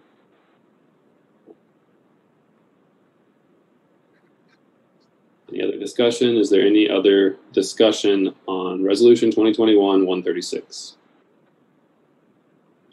Seeing none, I will ask the Secretary to please take the roll on the resolution. Um, I'm sorry, Chair.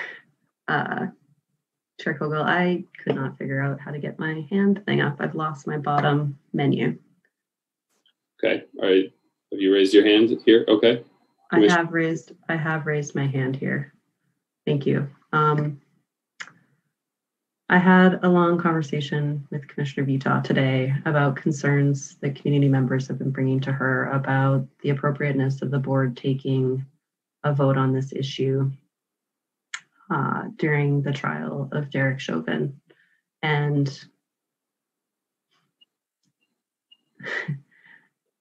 and it's very compelling to me to hear from her that we that we should be waiting until that trial ends to vote on this issue.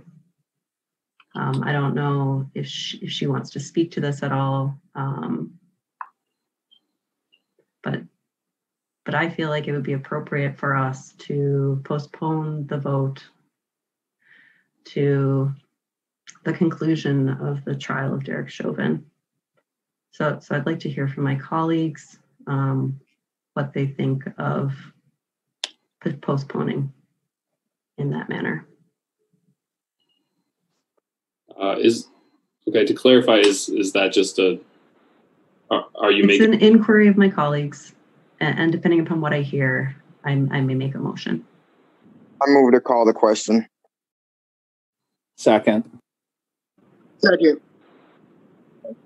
And a, a motion and a second to call the question. I, I will want to honor that Commissioner Vetaw had her hand raised before others jumped in uh, without raising their hands. So I will ask Commissioner Vetaw to um, speak. Thank, you, President Cowgill. Um, I, first, I want to say thank you, uh, Commissioner, Commissioner Musich, for hearing me earlier today.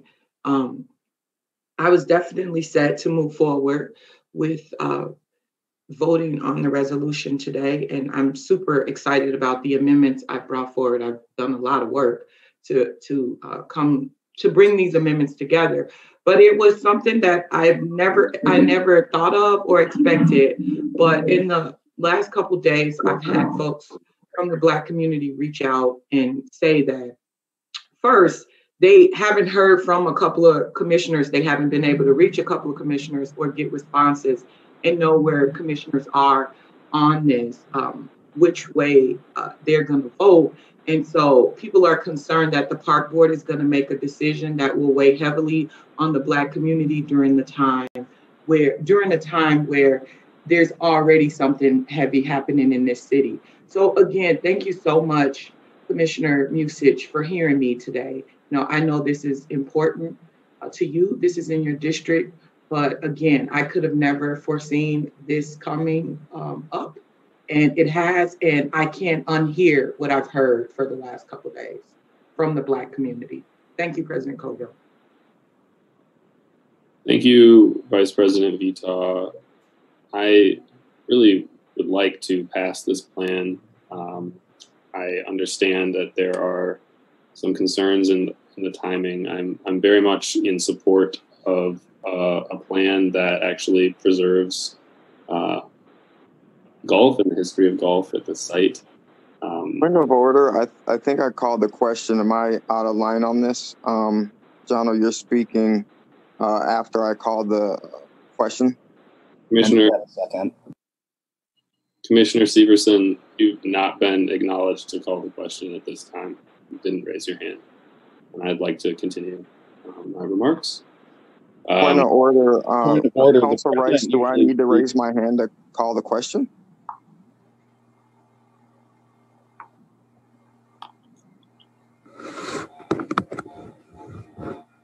as I I was believe, I believe I have a point of order following uh, Commissioner Severson's point of order once that's dealt with. I believe Commissioner Severson is asking a point of parliamentary inquiry. Did I understand that correctly, Commissioner Severson? That is correct. Thank you. right, I'll ask the council to weigh in on this item. Um, can you hear me? hmm It, I believe that it, um, we debated this at the la- last meeting. I mean, it, it sounds like both Commissioner Bourn and Commissioner um, Severson are seeking to be recognized. I've not heard the chair formally recognize them. I think it, it is the duty of the chair to recognize them, but it's the chair's discretion uh, to recognize them at the point he's going to do that. And I believe the chair was making a comment and that the chair should then recognize, I believe it was Commissioner Severson, had a motion, but until the chair formally recognizes a member, um, there's nothing to talk about. Or, or there's not a, the, the, motion at this point is a motion to adopt the main motion, a motion to call the question, which would take a two-thirds vote to cut it off as the debate would, would certainly be in order, but first a member has to obtain the floor to make that motion. A member can simply not just make a motion. He has to be, he or she has to be recognized first to get the floor. Thank you, Counsel Rice. Point of order, President Cowgill. Commissioner Bourn, I am going to continue my comments and I will recognize folks in the order that their hands are raised. I would appeal the ruling on the chair. I'd like to, uh, which would require a second. Second.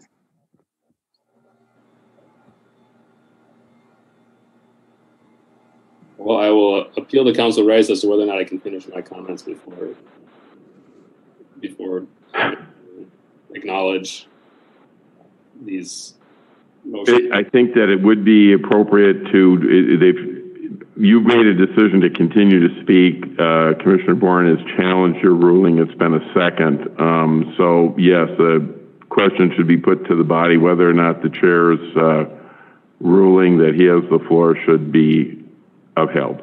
But just a point of clarification in that I certainly agree with that uh, recommendation, but I was not recognized by the president to make a motion to appeal his previous ruling. So I, I think there's just something wrong in how. Uh, I'll, I'll go back to say I, I respectfully think think our parliamentarian might need to spend some time revisiting how members obtain the floor to make motions that aren't debatable and motions to close debates and motions to table. Um, but I'll certainly, the call's on my side this time, so I'll take it. Right, so there's a motion to appeal the ruling of, of the chair, and the ruling of the chair is that the chair was able to speak to the actual resolution on the floor. Um, I'll ask the secretary to please take the roll.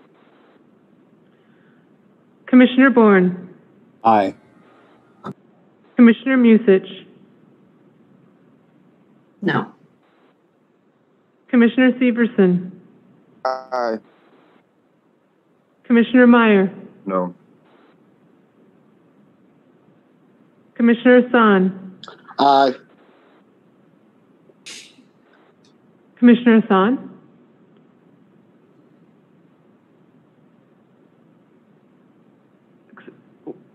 pardon me, was the last I from Commissioner Hassan?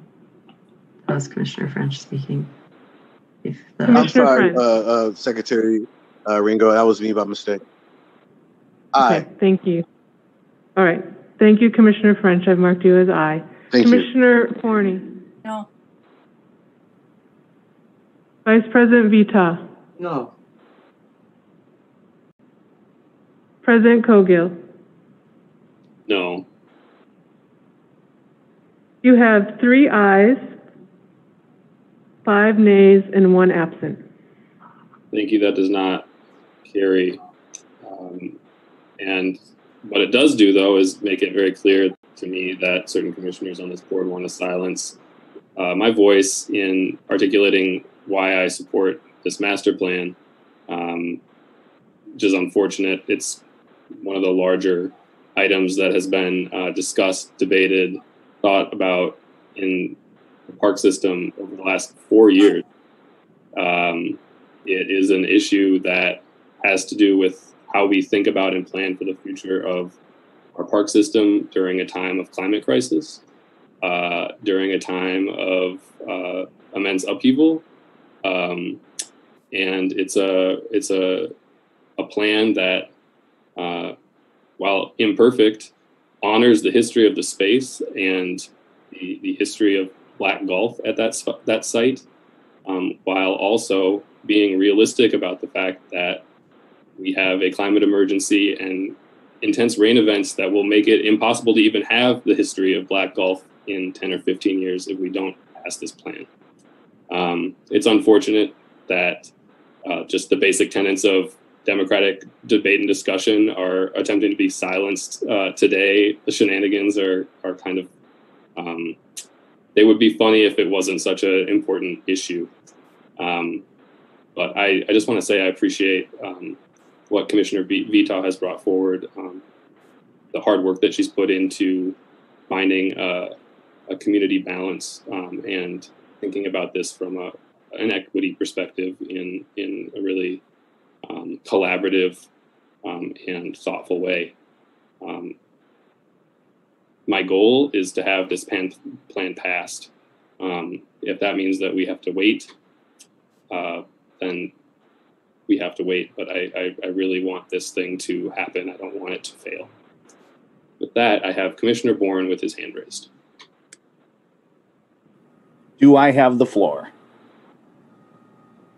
Certainly do, Commissioner Bourn. Have I properly obtained the floor? Um, please turn on your visual. President Cowgill, have I properly obtained the floor? Well, Commissioner Bourn, I, I think you have. It would be great if you turn your camera on, but I know you've had preternatural problems with the camera for Uh, it, it is on. Um, but it, so I have properly obtained the floor. Uh, I would make a motion to call the question. A motion to call the ques- question has been made. Is there a second? Second. There's been a motion and a second to call the question. That's uh, not debatable. Um, so I will uh, ask the secretary to take the roll on calling the question. Commissioner Bourn, Aye. Commissioner Musich, No. Commissioner Severson, Aye. Commissioner Meyer, Aye. Commissioner Hassan, Commissioner French,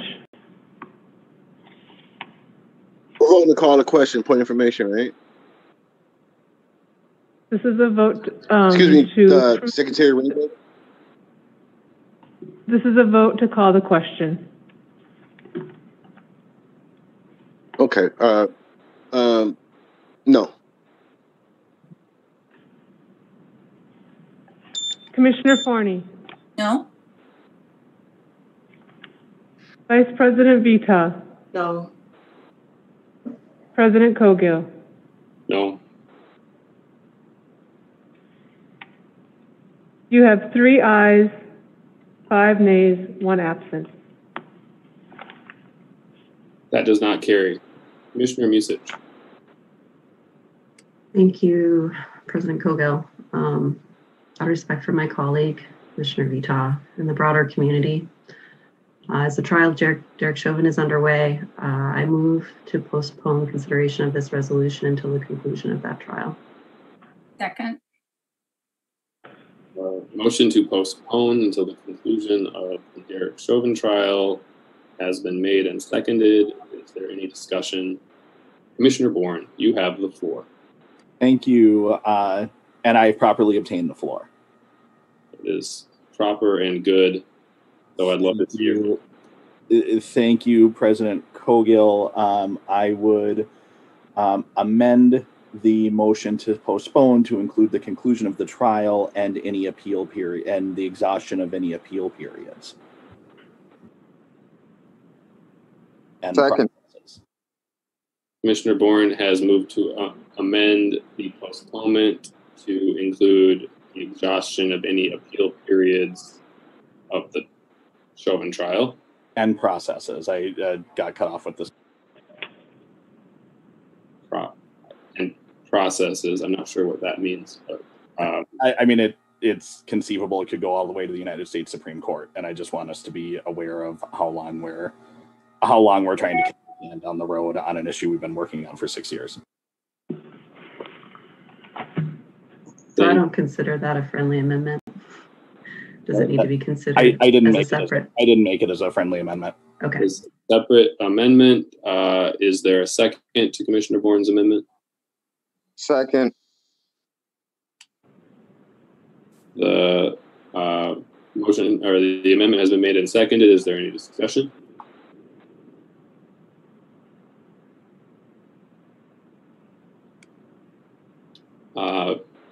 Vice President Vetaw. Yeah, thank you, President Cowgill. Um, I, I appreciate uh, Commissioner Bourn's amendment to the amendment, but I mean, I don't, I'm not understanding why this is necessary, so I won't be supporting it. What I've heard from people is just that they need some time. I mean, this can appeals, all this stuff. This could be 30 years. We don't know this. Like, I'm I'm pretty certain that this is not what folks are asking for. So I I just I can't support this. It's grandstanding at its finest, and this is a really sensitive subject to me.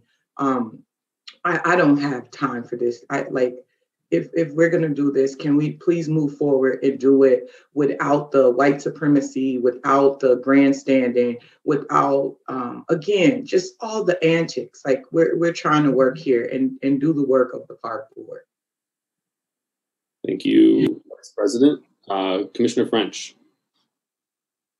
Uh, am I coming clear? I know my internet's pretty, uh, pretty, pretty spotty right now. Can you guys hear me pretty well? We can hear you right now, Commissioner French. Oh, okay. Uh, we've we've delayed. Uh, can I ask a question to uh, Secretary Ringgold? How long? How many times have we delayed this vote?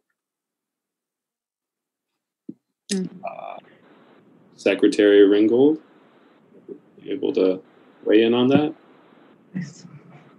Um, President Cowgill, Commissioner French, thank you for that question. I don't think I can probably fully weigh in on that. I'm wondering if um, Assistant Superintendent Schroeder might know that off the top of his head. Certainly, we have delayed it once, most recently, but I would be interested if um, Superintendent Schroeder, or Assistant Superintendent Schroeder has a better memory on it at the moment. President Cowgill, uh, Secretary Ringgold, that would be my recollection as well. Thank you, Superintendent Schroeder, or Assistant Superintendent Schroeder. Thank you, Secretary Ringgold. Commissioner French, do you have any additional comments? Yeah, my, my concern is that we're going to take a vote when it's uh, politically expedient for certain commissioners. And I, I, I think we need to do what's right for the community. Right now, we have a spotlight on Minneapolis. So the decisions we make as elected officials is really important. Uh, how we move through our community is really important.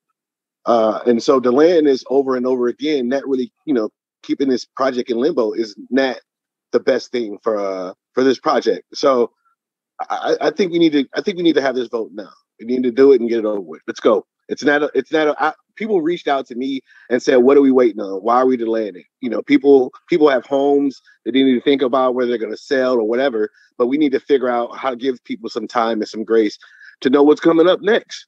Let's stop delaying an inevitable. If we're gonna, if we're Thank, thank you, Vice, or thank you, Commissioner French. Uh, Commissioner Bourn. Thank you, President Cowgill. Um, I, I'm not seeing any antics here, but if one were to see antics, which I am not, it would probably be behind an attempt to hide, uh, to delay an issue that the park board has been working on for six years and have had, well, Assistant Superintendent Schroeder is right, this resolution has been delayed once.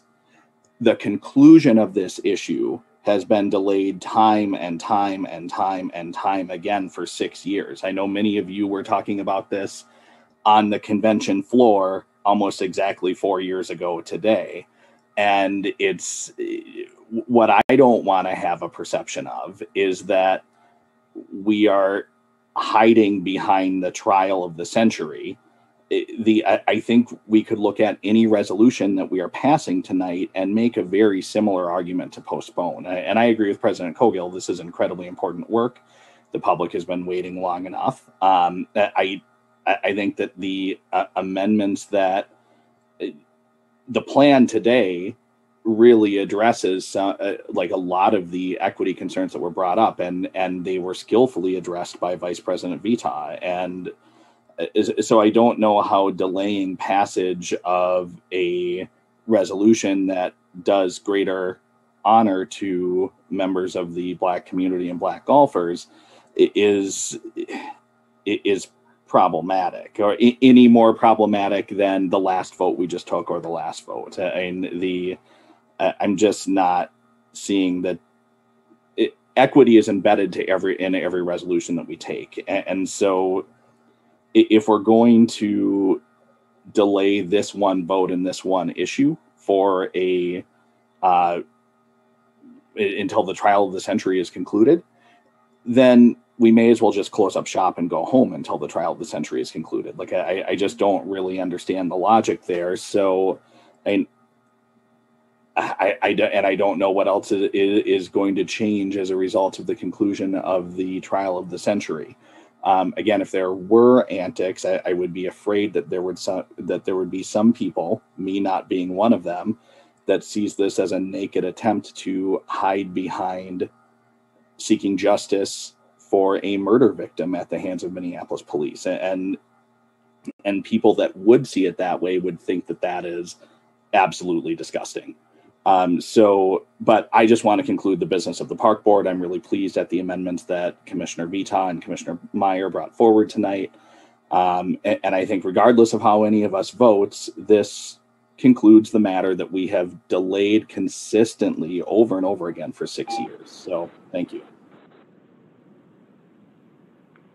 Thank you, Commissioner Bourn. Uh, Commissioner um, Vice President Vetaw for the second time. I'm sorry, I did, I meant to take that down. Uh, Commissioner Musich for the second time to Commissioner Bourn's amendment. Thank you, President Cowgill, for allowing me to speak. Uh, Commissioner Bourn, if I were to withdraw my amendment, or I'm sorry, if I were to withdraw my motion, would you be willing to withdraw your amendment? I procedurally, I don't think that can be done at this point. Thank you.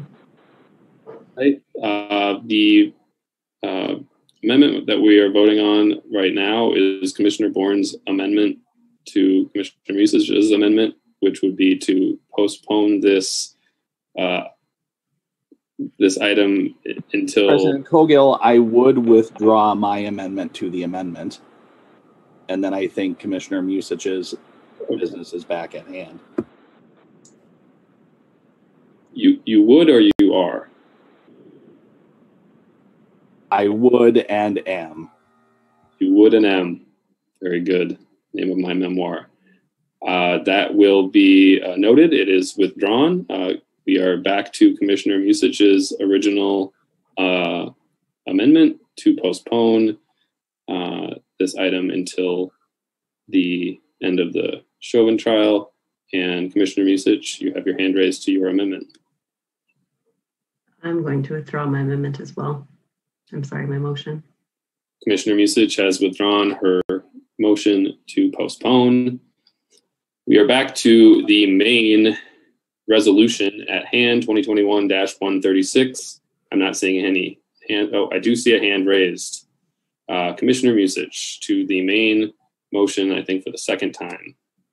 Thank you, President Cowgill. This is, I believe, the first time speaking to the main motion for me. Uh, I appreciate the opportunity to speak to this resolution. Um, I'd like to extend my gratitude to the community members and public employees that worked on the crafting of this master plan before the body for approval tonight.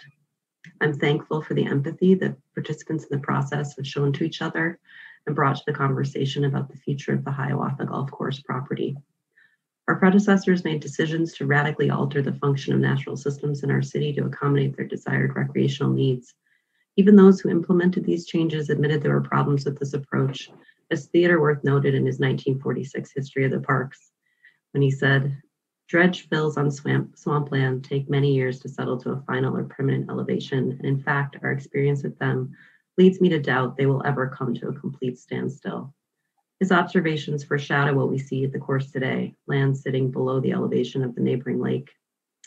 I believe the master planning process has presented us with a holistic view of what the future of this property can be, retaining the integral elements of the most recent land use of a golf course and learning center, while embracing the wetland that was here before that use and adapting to accommodate the instability of our changing climate. Uh, This master plan retains and modifies recreational opportunities for the public, not just of today, of the next seven generations as well, by weaving together the needs of many competing and sometimes complementary interests with a foundation of respect for and embrace of the natural world. I'm pleased to see that it protects residential neighborhoods by reducing flash flooding within the pipe shed, that it preserves protections from groundwater intrusion provided by current pu- pumping practices on the property, that it provides golf learning, practice, and play, that it enhances the ecological function of the landscape by increasing biodiversity through restoration of wetlands, and that it supports additional community desired recreational amenities such as a trail that circumnavigates Lake Hiawatha and reduces litter loading from the stormwater system. Beyond the land use components of this plan, it calls upon the park board that implements it to work with the African American and Indigenous communities of Minneapolis to tell a more comprehensive history of the site and the role that it has played since human settlement. Um, I'm, I'm glad to support the adoption of this plan with the amendments um, that have been adopted by my colleagues this evening. Thank you. Thank you, Commissioner Musich. Is there any other discussion from commissioners? Any other discussion? One more time, I'm asking, is there any other discussion? Please raise your hand. I'm not seeing any, and I will ask the secretary to please take the roll on Resolution 2021-136. Commissioner Bourn, Abstain. Commissioner Musich, Aye. Commissioner Severson, No. Commissioner Meyer,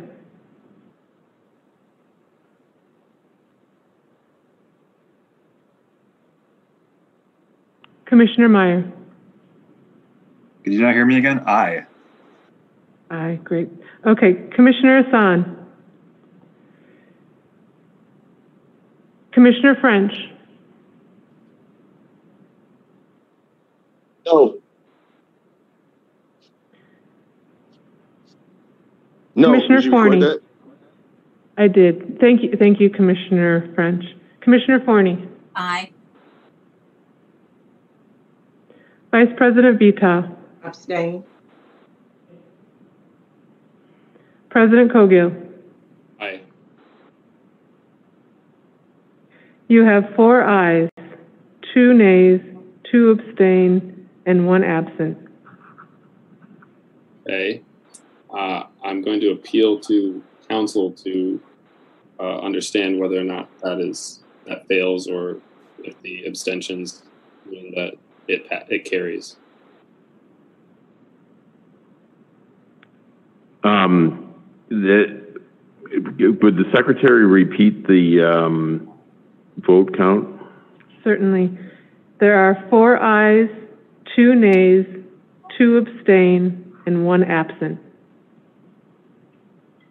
I just, so it's four, two, and two? It's four, two, two, and one. Four, two, two, and one. I, I think the threshold for passage is six votes on, on this as amended.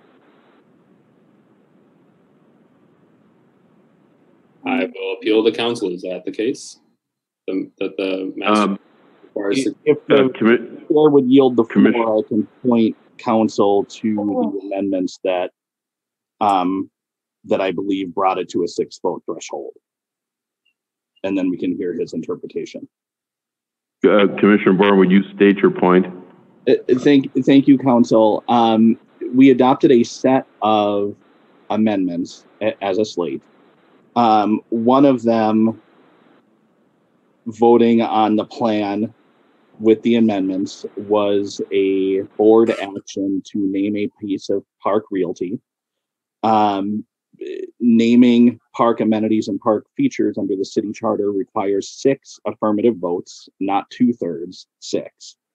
Um, you have advised us in the past that master plans are a compound set of resolutions where any item can be added, taken out, um, added, taken out, and treated individually, but it's a compound set of resolutions. When a compound resolution is moved, it's my understanding that passage of the entire resolution requires the victory threshold, the highest victory threshold of any its individual components. Am I understanding that correctly?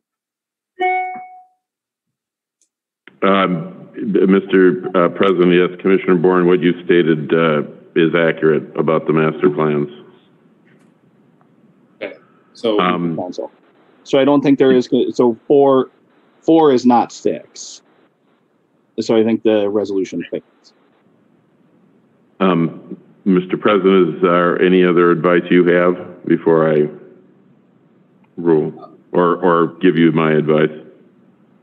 No, I, I don't know if commissioners were aware of the fact that the threshold for uh, for passage uh, shifted with that, um, but uh, that if, if that is your understanding as well, and the threshold for passage is uh, six votes, that is that is the case. I, I would still be curious to know uh, if if uh, without this technicality uh, on the one item uh, added this evening, the the plan would have passed.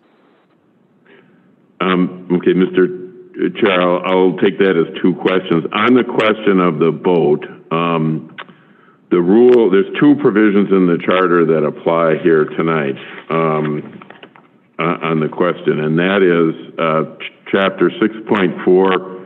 Let me take this mask off. I did have a shot, and Jennifer's had one, and she's across the room. I'll put it back on uh, quickly. Um, 6.4 of the Charter B majority provides that the board ordinarily acts by simple majority of a quorum disregarding any abstentions. The board does have a majority uh, to meet tonight. The vote was four in favor, two against, two abstentions, and obviously one person absent. So ordinarily, um, and that's a key word here, the board ordinarily acts by simple majority of a quorum disregarding any abstention. So the vote in effect tonight on this motion was four to two. And ordinarily, that would mean the action would pass. However, I believe Commissioner Bourn does have a appropriate point of inquiry or order. As I understood the resolution earlier tonight, a series of amendments were added, one of which was to rename the building as the Solomon Hughes Building and to have that reflected on the property. Um, there is another uh, uh, section of the charter that comes into play here, and that deals with realty. Uh, 6.2, section 6.2F realty, um, supermajority required for certain actions. The board may dedicate, buy, lease, or name or rename realty with at least six affirmative votes. So I believe the question then is, what is the definition of realty? We did have a cause to review a similar question uh, earlier this year about what realty was. Um, we provided a, a memo to the planning department, or um, Ms. Walter and I, um, and while that was a little different, um, that what I cited in that memo I think applies tonight. Black's Law Dictionary, the eighth edition, defines realty as land and anything growing on, attached to, or erected on it that cannot be removed without injury to the land. Also termed real property. That's from Black's Law Dictionary. And the definition of real property in that same Black's Law Dictionary, eighth edition, is the same as realty with the addition of this sentence. Real property can either be corporeal, soil and buildings, or incorporeal easements. So I believe that Commissioner Bourn, because the, the main motion was amended to include a renaming of a building, uh, would then bring um, this action under the supermajority requirement under uh, uh, Charter uh, Section 62F, number one. So I believe the motion failed for lack of its supermajority. Okay. Uh, well, I don't. Point Think, of inquiry, President Cowgill.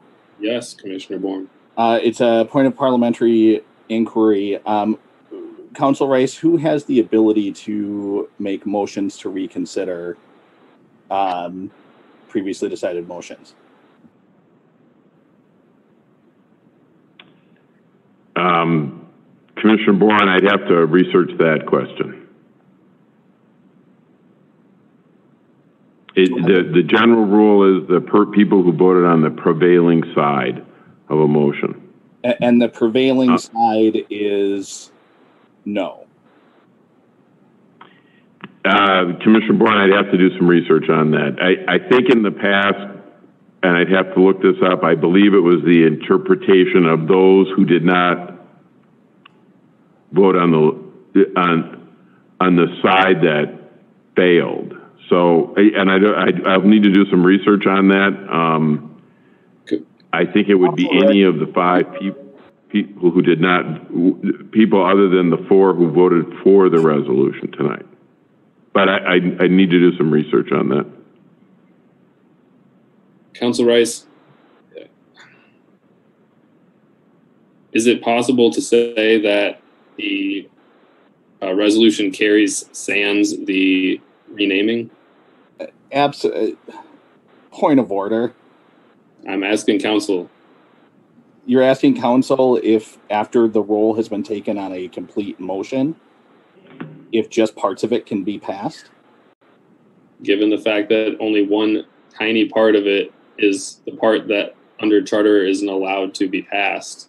I'm asking counsel if that's I might have misunderstood, but I think counsel just said that the entire motion required the highest threshold, but I might have heard him wrong. I w- I wasn't asking you, Commissioner Bourn, I'm asking counsel. Um, Mr. President, um, I believe because the motion included a renaming provision, the entire motion would have required, require six votes. So I don't believe that the entire motion passed. And I don't believe that the board could separate the rest of the motion out from that. Thank you, Counsel Rice. Uh, the resolution fails. Moving on, I will ask for a motion to resolution 2021 168.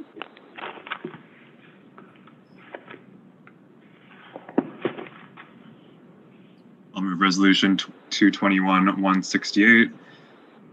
Um, a resolution approving a cooperative agreement between the Minneapolis Park and Recreation Board, Hennepin County Housing and Redevelopment Authority, Corker Neighborhood Organization, and Juxtaposition Arts for the development, design, installation, ownership, and maintenance public art at Market Square, parkland dedication as completed neighborhood park in the Minneapolis Park System. The resolution has been moved. Is there a second? Second. Resolution has been moved and seconded. Is there any discussion? Any discussion? Great to see this coming forward. Uh, I'll ask the secretary to please uh, take the roll. Commissioner Bourn, Aye. Commissioner Musich, Aye. Commissioner Severson, Aye. Commissioner Meyer, Aye. Commissioner Hassan, Commissioner French,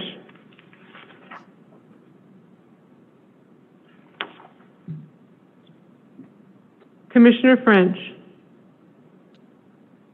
Commissioner Forney, Aye.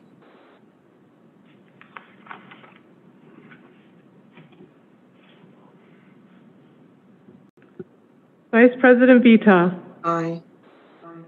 President Cowgill. Aye. You have seven ayes, two absent. That carries. I'll ask for a motion on resolution 2021 uh, 152, which is uh, that the board take from the table resolution 2021 152, a resolution approving creation of a parkland development and easement agreement with Grin Development and Swervo Development Corporation, in the city of Minneapolis, for application of the private land maintained for public use parkland dedication option in the Wirth on the Woods proposed um, at 2800 Wayzata Boulevard. So moved. Second. I have a motion and a second.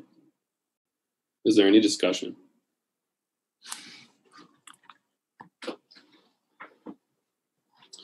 Commissioner Bourn, Do you, uh, President Cowgill, I have properly obtained the floor. yes, you have. Thank you. Um, I, I believe, um, Assistant Superintendent Schroeder had sent out an amendment on my behalf. Assistant Superintendent Schroeder and Ringgold had sent out an amendment on my behalf, and I'm wondering, Assistant Superintendent, I don't have it in front of me. If you could, um, if either the Secretary or Assistant Superintendent could read the text of that amendment, and while they're pulling it up, I'll just state this was in response to some concerns that were brought up at the last meeting about um, how as we grant more and more of these waivers to the park dedication fee and have discussions about or uh, maintenance we've seen firsthand how a lot of agreements tend to fall off the radar.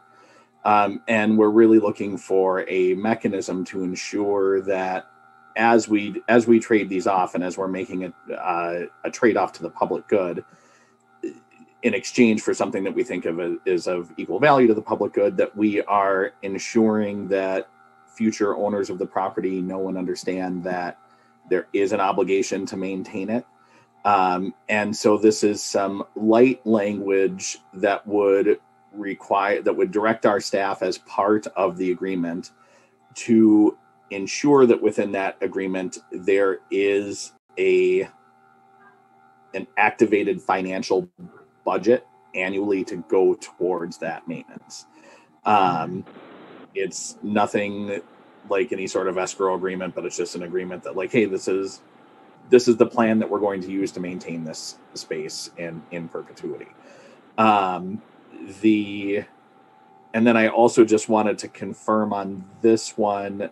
I think there was also a little bit of a misunderstanding in our last meeting. Assistant Superintendent Schroeder, this resolution authorizes you to spend staff time to go draft such an agreement that would then come back to the board and then would require a six vote threshold. Is that is that your understanding of the intent of the agreement that brought that uh, the intent of the draft resolution brought forward? President Cowgill and Commissioner Bourn, that's correct. Okay. Um, and does either, the, and I really apologize, does either the secretary or assistant superintendent Schroeder have the text of that amendment? We've read it. Pre- President Cowgill, I do. I can pull it from the website unless Assistant Superintendent Schroeder wanted to read it. President Cowgill uh, and Sec- Secretary Ringgold, I do have it and can read it. It adds a second resolve clause that says, resolved that the Board of Commissioners direct staff to define as a part of the Parkland Development and Easement Agreement, a method of assuring funds sufficient for the maintenance of the trail and associated amenities are available to the MPRB should the developers or subsequent property owners fail to adequately perform those tasks. I would move that as an amendment to the main motion. Uh, an amendment has been moved. Is there a second? Is there a second? Second. There's a second to Commissioner Bourn's amendment. Is there any discussion regarding the amendment? Any discussion? Any discussion? Seeing none, I'll ask the secretary to take the roll on the amendment to Resolution 2021-168. Commissioner Bourn, Aye. Commissioner Musich,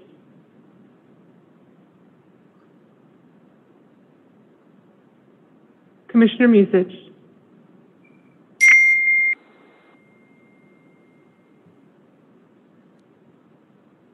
Commissioner Severson, Aye. Commissioner Meyer, Aye. Commissioner Hassan, Commissioner French, Commissioner French, Commissioner Forney, No. Vice President Vetaw, No. President Cowgill, Aye. Commissioner Musich,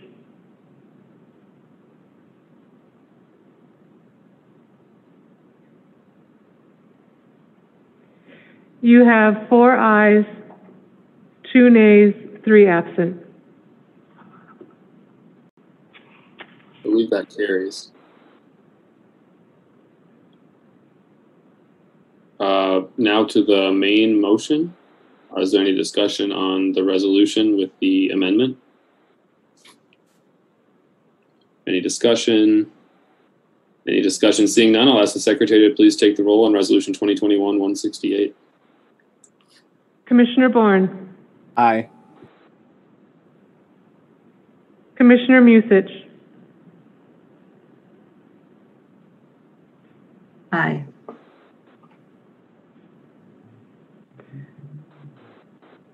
Commissioner Severson, Aye. Commissioner Meyer, Aye. Commissioner Hassan, Commissioner French, Commissioner Forney, Aye. Vice President Vetaw, Aye. President Cowgill. Aye. You have seven ayes and two absent. That carries. Uh, we now have a discussion uh, item um, regarding the 20-year neighborhood park plan. It's a annual report, and I'll ask Director Wiseman to um, step forward, and she can uh, provide us with that presentation. Good evening, President Cowgill and Commissioners. Uh, The NPP 20 2020 Annual Report is the fourth uh, report of this type. It is available online at www.minneapolisparks.org backslash NPP 20.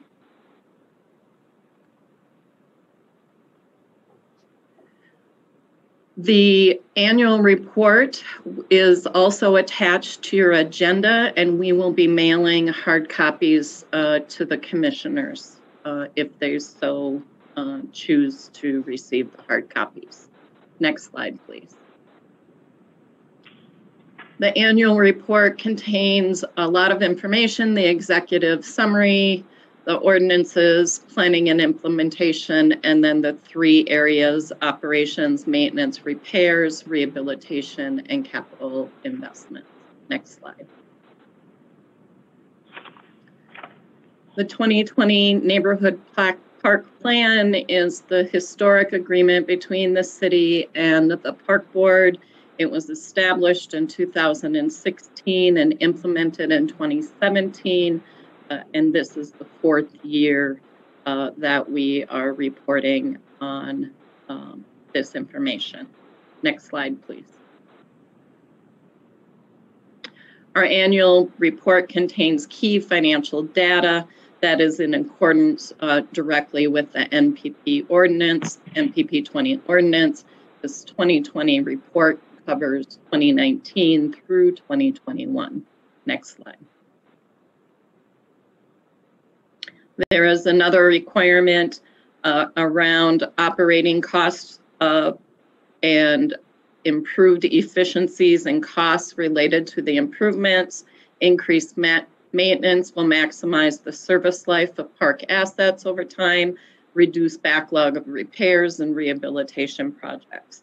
A reduced backlog results in larger number of park assets that are consistently available to the public and some cost savings that will result from energy efficient materials.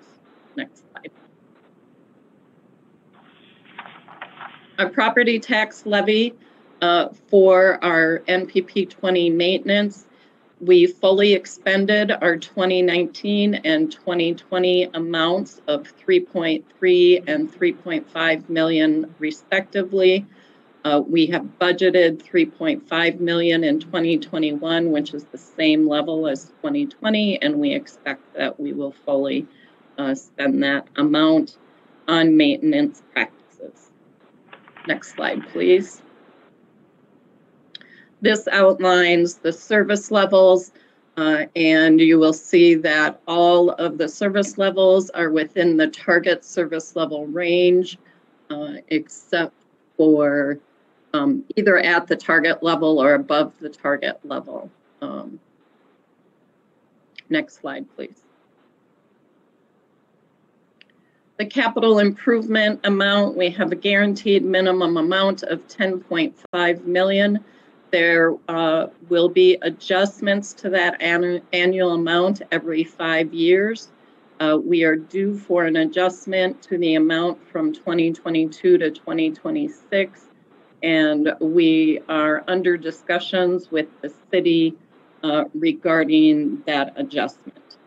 Our capital improvement program, we adopt the six-year capital improvement program, and again, uh, 2016 and 2021 CIP projects that were in place prior to NPP 20 uh, continue to be honored.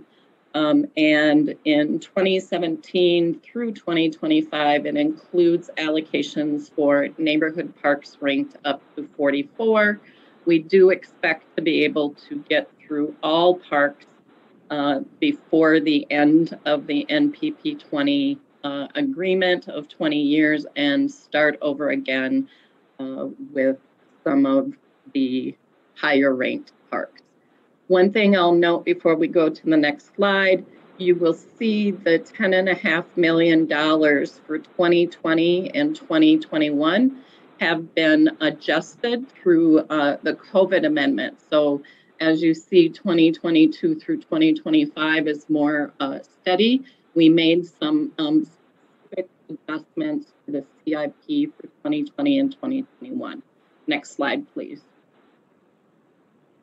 In May, this board adopted the COVID amendment to our capital improvement program, which adjusted uh, the amounts or the allocations for 2019, 2020, and 2021 due to COVID 19. As a reminder, the stay at home order and social distancing requirements profoundly um, impacted our ability to do in person community engagement. So we uh, so to address the issues and ensure continued work, we shifted pro- projects primarily between 2020 and 2021 with some um, impacts, slight impacts to 2019. We focused 2020 on rehabilitation projects and those projects that are less community and um, engagement and we moved several large and complex projects out to 2021. Overall, the project bal- or the budget balances were kept consistent within the program year, uh, where 2019 and 2020 saw the increase in the rehab funds, and 2021 has the commens- commensurate increase to the capital investment project. So I will now turn it over to Assistant Superintendent Michael Schroeder, who will walk through the rehab and capital information. Next slide, please. Commissioners, uh, thank you. So we, we've been through this several times before, as uh, Director Wiseman has said. So I will quickly just refresh the program goals and identify the process that we use for the rehabilitation projects. Um, we, we know that we can't get to every single park and its capital needs um, immediately. So that's where the rehabilitation program steps in to help us meet those uh, the, the safety and code, code and regulations that have been identified.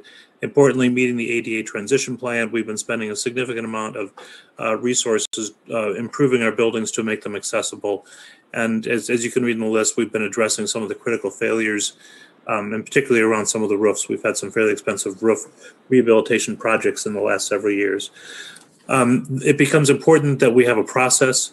Um, we work with asset management um, uh, and, and, planning to establish an inventory of all the assets and assess their conditions. We rank those assets and their need for rehabilitation and prioritize those considering factors, including, uh, so the, importantly, the, the, the, um, the notes uh, the dot points are above, include in, in particular those things that are critical failures or uh, park safety limitations. Could I have the next slide, please? this is a, uh, a, recap of the dollars that are allocated to the 2019 rehabilitation categories. Um, and just to, they're, they're listed on the left side of the, the page there. Accessibility improvements, those are the ones we ca- carry through with the ADA. Looking at improvements to buildings and recreation center roofs, and you'll see that that is a significant expenditure with more than $1.2 million uh, budgeted and allocated in 2019. Um, the HVAC, park amenities, park lighting, below grade infrastructure, sidewalk and pavements, and operations facilities are all part of it, leading to uh, a nearly 94 a, a 94% uh, of the budget being allocated to improvements. Um, and you can see that as we move through this, um, we have completed a significant number of projects uh, through the end of 2020. Next slide, please. So this is the 2020 rehabilitation categories, and you can see that there's still significant dollars being spent on roofs and, and uh, air conditioning, uh, HVAC systems. Um, we have completed less, fewer of those projects, but we have still many projects uh, in process, um, still moving towards, um, even, even considering those ones that are still in process, uh, we have allocated 83% of the dollars uh, that were made available through the, rehab program in 2020. Next slide, please. Um, so now we start to look at the 2021 rehabilitation categories. These are things, these are where we have not allocated dollars yet. Um, and in fact, I think if we look at this, we probably actually have some projects anticipated, um, but there's not nearly the amount of dollars that we have in these rehab funds as compared to previous years um, the, relative to how much we budget. So you can see that we're still in process what typically happens as we move through the year and we start to allocate dollars to specific projects, that percentage goes up. And by the end of the year, we'll be in that um, 70 or 80% uh, complete or allocated uh, category. Some of the projects carry over from year to year, and that's the reason why we, uh, uh it might be unlikely that we'll ever see a 100% um, of the budget being allocated in a single year. Next slide, please. So the, the, the, capital investments in parks are guide in neighborhood parks are um, uh, guided through the equity ordinance and importantly through the um, service area master plan concept plans. Um, so we allocate funds to those parks with the highest rankings, um, bringing new parks into the program every year. Next slide, please. So you can see the list of projects where we have dollars going on from 2019. We've um, allocated uh, 62% of the dollars available. And you can see that as we move uh, towards the uh, right portion of this page, uh, we have uh, any number of projects that uh, were completed or would be completed in fall of last year or that will be completed this year. Um, there are some where we have been waiting for, if we look at like Painter Park, we have been waiting for uh, uh, the completion of the Southwest Service Area Master Plan. So that one is lagging a bit and will be coming forward in 2023. Next slide, please. Similarly, as we look to uh, 2020, we'll have fewer of those projects uh, um, started, we are completed. We start them in, in, in the capital investment year. It usually takes us a year to a year and a half to complete them. Um, so that number at uh, 24% towards the bottom uh, will roll up significantly by the end of the year, but there will still be a bit of a carryover as we complete some things in the fo- in the spring of the following year. Next slide, please. And here we are, 2021. You'll note that as we sit here in April of this year, um, we are at a 0% allocation, um, but we have identified those projects that will be carried forward um, and you can see the the the dollars. So so the uh, the uh, the year completion. These projects um, are probably um, in in the process of having. Um, some having uh, design project managers assigned to them, still waiting on others, but we'll be moving through that process this year. And the next slide.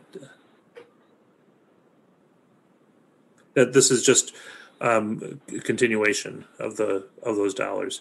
Uh, importantly, there's an item on the agenda for Perkins Hill Park tonight um, where we had expected completion um, in, in, the summer. That will probably push to fall of this year. I return it back to Director Weissman.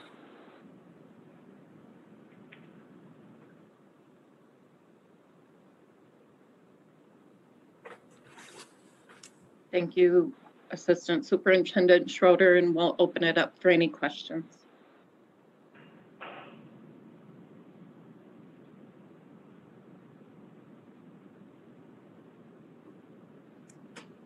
Thank you, uh, Assistant Superintendent Schroeder, Director Wiseman, for the presentation. Um, Are there questions from commissioners at the moment? Oh, Okay, Some, some positive vibes from Commissioner Forney, and uh, I'm not seeing any other hands raised. Uh, Thank you uh, for the report um, and the progress on, on NPP 20, which we love to see. Um, At this point, uh, we have one more item on the main board agenda. Do I have a motion on resolution 2021-169?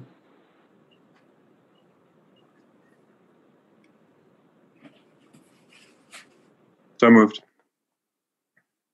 Right. Resolution 2021-169 has been moved. It's a resolution, resolution opening, not them, but parkways for people uh, walking, rolling, and biking, including portions of James I. Rice Parkway in the central Mississippi uh, Riverfront Regional Park and portions of Lake Harriet Parkway in the Minneapolis Chain of Lakes Regional Park through May 31st, 2021. Do I have a second?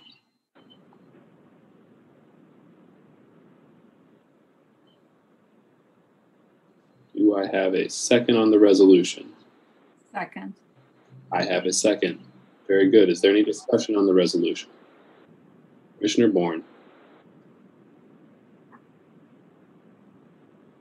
Thank you, President Cowgill. I, I guess I, I'm just confused by a couple of items in the resolution. Um, first, um, this is 50% of the actionable piece of this resolution is taking place in my district, and I only found out about it from reading the agenda. So, so I'm just curious what, uh, I guess my first question is what, what was the uh, communication plan with the district commissioners in the um, in the two districts where there is an impact here. uh, Commissioner Bourn, who are you're asking this question to? Um, I, I would ask staff, but it looks like the resolution was brought forward by you, President Cowgill. So, I mean, whoever can best answer that question, if there was a communication plan and how was it executed, and I, I think that the communication plan is, is right here. We're discussing the resolution.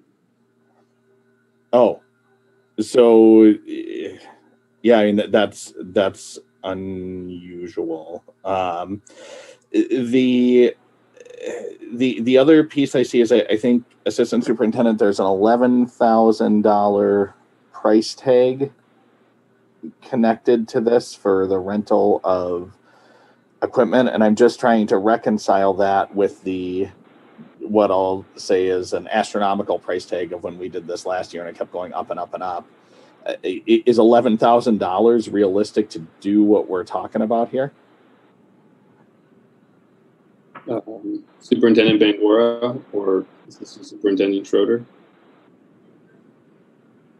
Uh, P- President Cowgill and Commissioner Bourn, I, I can answer that question perhaps. Um, the, this is for a limited amount of time. This indicates that it would be through the end of May. We're also looking at some substantive changes from how we would have uh, closed the parkways last year.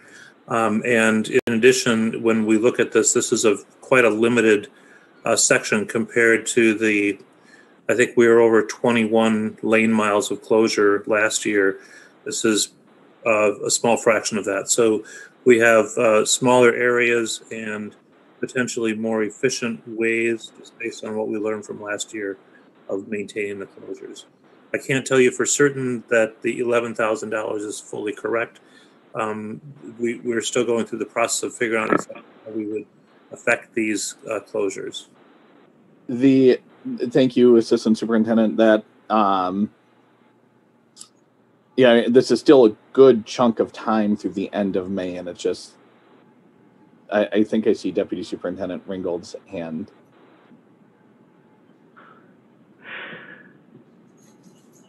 Deputy Superintendent, do you have something to add? President Cowgill, I can confirm that the numbers are based on direct quotes from our vendor, um, and that the reason why this is lower is consistent with the remarks from Assistant Superintendent Schroeder. So this would cover those lane closures uh, for the time period specified. Thank you. Um, I, I, just a couple of last points.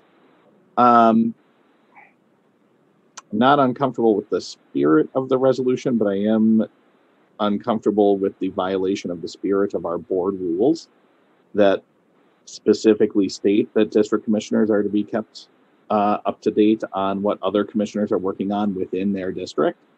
Um, so, so that it's just amazing to me that there wasn't a phone call and just learning about the pricing structure now. Um, this just doesn't seem like how we operate. It's also, I mean, I, I don't have a resolution tonight. I could, um, closing Lake of the Isles Parkway. And, you know, this board has always talked about deferring to the expertise of their district commissioners.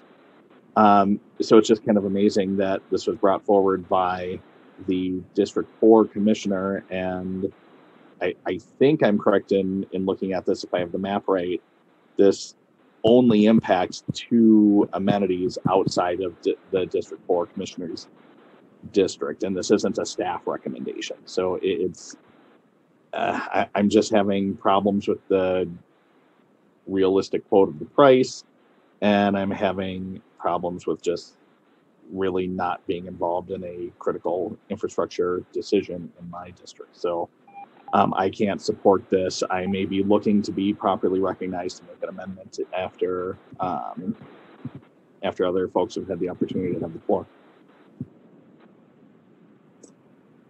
Thank you, Commissioner Bourn. Uh, I'd like to make a couple clarifications here. Um, first, uh, there's been ongoing discussion about uh, how we use our parkways and how we make them more accessible to everybody and safer for everybody over the last, really the entire term, but but certainly over the last year, year and a half. Um, the the lower uh, Lake Harriet Road uh, is uh, an easy um, one to open up for people um, and make safe. Um, it's was incredibly popular last year. Um, it's easy because there aren't many entrance and egress points. Um, and the portion of the central Mississippi riverfront um, is fully within the District 4 Commissioners district. Commissioner Forney. Thank you, President. Um, uh, just some clarification. Um, these two areas, are these areas that have been, um, uh, I don't know, what should we say, are, are, are, being proposed, I guess is the word I'll use, uh, for potential gates, permanent gates that we did um, uh, vote on, I believe, in the budget um, last year. Is this um, those areas? Um, Yeah, that that's a good question. Um, I might be able to begin with with that. I, I think that there are, there are others that can answer answer more as that that process is starting. But certainly, uh, West River Road is, is a candidate for for those gates, um, and there are actually already some gates in portions of the lower Lake Harriet Road. Um, Yes, I guess I was looking to Assistant Superintendent Schroeder, and then also to ask the question, um, is this also the section that, um, has been proposed? Um, I believe it was in the master plan to eventually close permanently. yeah, Assistant Superintendent Schroeder. Go ahead. Pre- President, President Cowgill, we have, uh, through the, the good work of uh, community, uh, uh, customer service staff, uh, Shane Stencil and Keith Bites have started to put together a map of where we could affect closures. We have not landed on a particular location where it would start, but I would suggest that this portion of West River Parkway would be a logical starting point for the ease of installation of gates and the numbers of events that we would have going on there. Um, where we would go from there hasn't been determined yet. Uh, you're also correct that uh, Lake Harriet, the the, south, lower roads of uh, Lake Harriet would be a relatively easy place to start because there already already is an alternative route around the lake at that location. Um, and to, to Commissioner Forney's uh, point, the, the master plan for uh, Benama Harriet actually identifies a different uh, configuration for what we call a lower road that would uh, provide for greater use uh, with the replacement of the road. And also just uh, another clarification, um, we're only proposing these particular two sections and it's only through May 31st. And more particularly, I don't think it says it anywhere, in response to uh, relief due to um, COVID. That, yeah, that's correct. Thank you. Uh, Commissioner uh, Meyer. Um, I'll just speak to a couple of the reasons uh, why I support the resolution. Um, the first one is, as Commissioner Forney said, this provides um, pandemic relief. Um, we are seeing a, spike in cases, um, even though you know vaccines are rolling out. That's also um, making people, you know, do less social distancing. So cases are, are spiking. So I, I think it's still good for us to provide some extra space for people um, who need it, you know, um, older people or immune compromised people um, who still can't go to the gyms, um, for, for them to have um, some, you know, extra space that um, is wide enough for them to be safely distanced from people.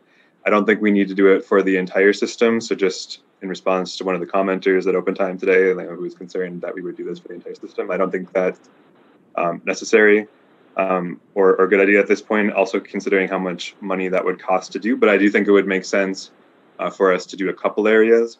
Uh, these are the two probably most cost effective areas.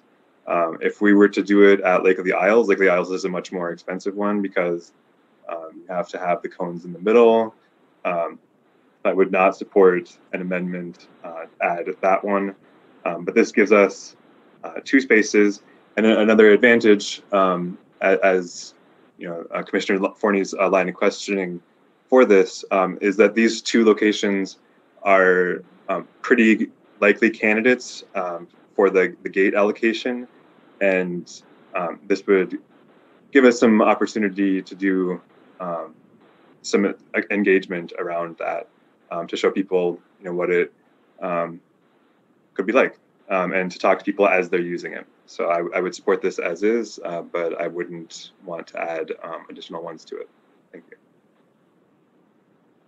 Thank you, Commissioner Meyer. Commissioner Bourn for the second time. Thank you, President Cowgill. Um, Superintendent Bangoura, why was this not a staff recommendation? I, I see that it's silent on whether or not it's a staff recommendation. Commissioner Bourn, President Cowgill, uh, why was it not a staff recommendation? Right. Like 99% of our resolutions come through with a staff recommendation.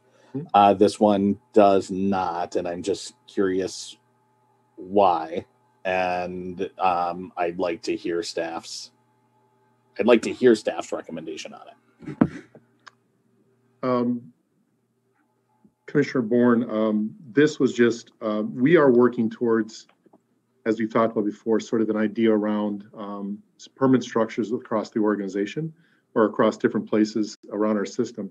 This was something that was just um, brought forward as a as an opportunity right now, and we at this point just looked at it as something that was um, not complicated, as was said by Commissioner um, Commissioner uh, Meyer and also um, President Cowgill around the fact that this is not something that's complicated for us to do.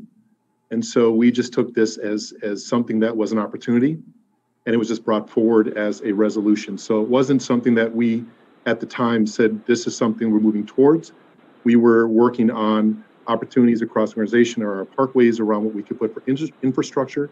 And this was just an opportunity that we just uh, understood and it wasn't complicated for us as staff to uh, respond to what would be um, you know, not not something that would be difficult for us to accomplish.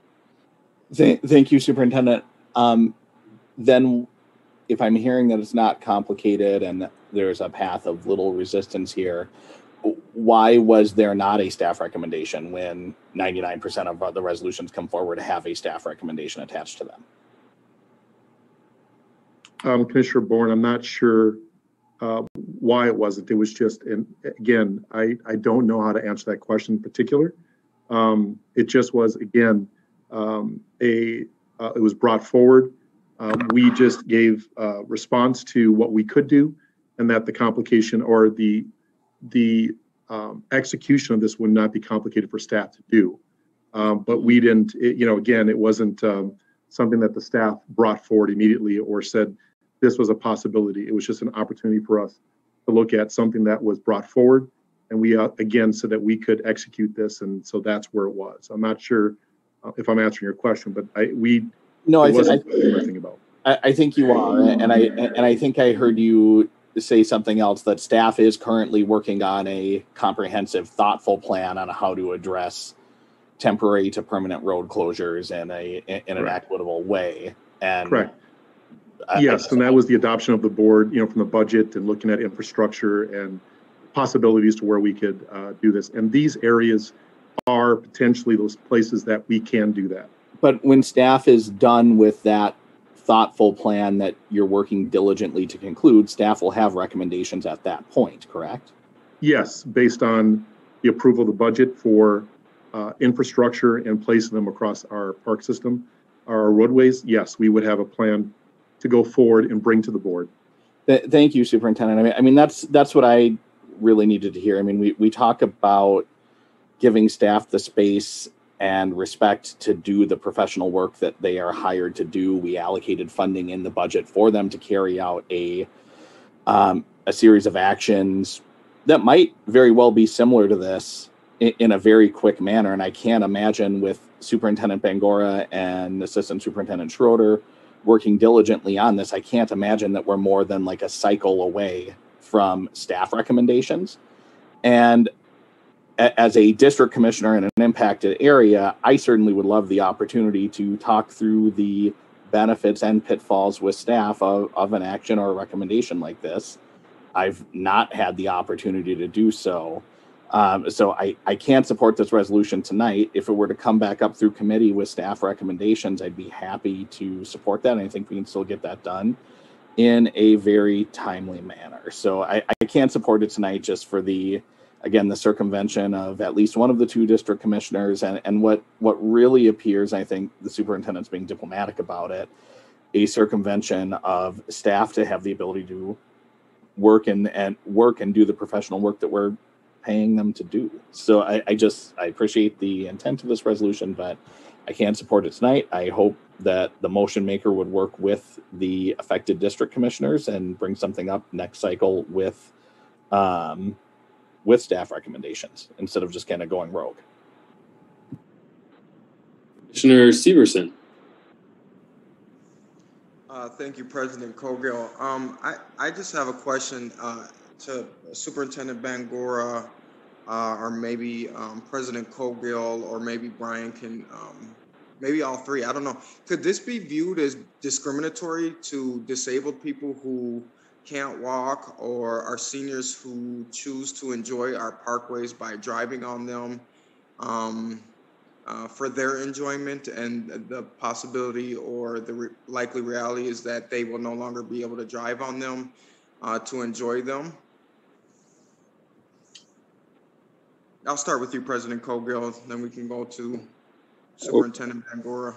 Yeah, we have everybody answer this question. I, I think the opposite is the case. Uh, Commissioner Severson, it's pretty um, well known that um, vehicle uh, crashes or uh, safety issues associated with streets uh, are go down to essentially zero when there aren't cars on those streets. Um, so when there are no vehicles in a certain area of a uh, parkway, uh, it's far less likely, in fact, just about 0% likelihood that any individual, whether they are um, differently abled uh, or whatever their ability level is, uh, to be hurt or injured by a vehicle or vehicle related crash. Um, also say that uh, a good proportion of folks that are differently abled aren't able to drive in the first place. And in fact, by adding additional space, um, we're creating more ADA accessibility around our park spaces and some of the most um, well developed um, and well used park spaces in the system. Um, in fact, you know, the ADA transition plan as stipulated by the federal government um, recommends substantially more space for people who are uh, in wheelchairs or who are um, have low vision um, to be able to walk and navigate public spaces. So, um, I mean, I think to your question, I mean, anything can be viewed by any perspective, but um, I think that the evidence and practices and um, guidance from all levels of government would suggest that um, having fewer vehicles in spaces is safer for everybody, especially the most vulnerable of our community. That's an interesting opinion. I think I was looking more asking the question, is it discriminatory by those who can't walk, um, but instead choose to drive to enjoy our parkways? Superintendent Bangoura, what's your opinion on this? Um, Commissioner Severson, President Cowgill, um, since probably the early, probably 1960s or even sooner, um, there have been many places across the country, um, and I have like extensive reports around this, around what we know to be called open streets or um, places where they actually open up roadways to people and pedestrians across the country. Um, there is um, many, many examples of that. And in fact, I think even around the world in different places, even in Europe and of course, United States, Central Park and places across the country where they open up streets for people and pedestrians. Um, there's many, there's many, many different type of um, uh, research around that and what it means and what it means for people. Um, I can't specifically say that whether someone feels discriminated if they want to be able to access those spaces. But what I do know is that um, places and spaces where people can uh, interact and to have places where they can enjoy parkways and streets that are actually made for people um, and not just vehicles um, is you know researched to death and i think that the health of a city and the and health of people um, has been documented with open streets or what they call closed parkways or closed streets um, i don't know in particular um, specifically what someone feels if they can't drive a parkway uh, that they normally drive during a period of time that they close a parkway um, for enjoyment or just for safety or for in a pandemic that we have done within this organization. Um, my purpose is again to make sure that we have um, places that uh, whether they can park in a parking lot that's close to the location, but I would do everything on my part to make sure that folks that have concerns about that we would hear it and we would adjust accordingly to make sure that we have opportunities for all folks to go and experience uh, a closed parkway. Um, but again, I don't, I, I'm not, I can't answer where someone feels discriminated against or um, and how they feel. But I would absolutely hear any comments from anyone in the community, which we've had received before, about access to parkways. Okay, open streets are typically for one day, that, from my experience here in Minneapolis, but I, I don't know other parts of the world, I guess. Um, Yeah, It, it, it's, it's quite interesting to me that I receive plenty of phone calls um, from senior citizens and disabled folks uh, about this very matter and how they feel uh, left out and how they don't feel a part of this. And, you know, our roadways, in my earnest opinion, are for cars. Um, and, and we're going to create confusion uh, between residents and our cars that are going to create more crashes, in my earnest opinion. Um, I, if we need more space for people to walk, then let's address the real issue there and let's start putting larger pathways on on more green space so there's more room for people to walk uh counsel Rice is this this uh, is could this be discriminatory could we be sued for something like this Um, we are, Mr. President, uh, Commissioner Severson. Um, I, I think I'd have to defer on this question from a legal point of view. I think the superintendent and the president articulated the points on why it's allowed. I, I would have to look into it, uh, Commissioner uh, Severson to give you any kind of definitive question. Um, I think this, the way the superintendent articulated the question was, uh, wa- was pretty accurate about the trade-offs. Um, I, I think, so, yeah, I, I, it would take some research, so I'd, I'd ask that I could take that under advisement. Okay. Again, I, I'm concerned that we are possibly discriminating against uh, folks who use that, that space um, uh, for their enjoyment, uh, whether it's in a car or a bicycle or walking. Um, and I, I think we're making a huge mistake by creating um, confusion uh, around this space. I've also done some research on, uh, you know, the, where funds come from to build our roads. Did we get federal dollars? Are they supposed to remain roads for cars? I'm still trying to find all this information. I hope I'll have more time uh, in the coming months to do more research. But I, I really wish we would go away from this and start focusing on the real problem. If we need more spa- space for people to bike, rollerblade, walk, then let's address the real issue and stop taking streets and let's start building more pathways along our parks. Thank you. Thank you, Commissioner Meyer. Okay, so responding to Commissioner Severson, I would ask first, uh, is it discrimination against me that I can't walk on a highway? Like, um, most states have laws against, you know, pedestrians on interstates. Should I file a discrimination suit? Um, you know, the Hiawatha Golf Course has a fence around it. Um, you know, I'm not supposed to walk in there while golf is in season. Uh, so is it discrimination against me that I don't have access to that golf course? Uh, because I'm not a golfer. Like it's really an absurd line of argument. Uh, if there are particular uh, paths that Commissioner Severson feels that we should put in our green space in the long term, you know, I'm very interested in having that conversation. He's welcome to talk to me as, you know, chair of the planning committee. Maybe we can bring something forward to make the improvements that he wants. But we have a short-term issue uh, with the pandemic here that this resolution is in response to. Thank you.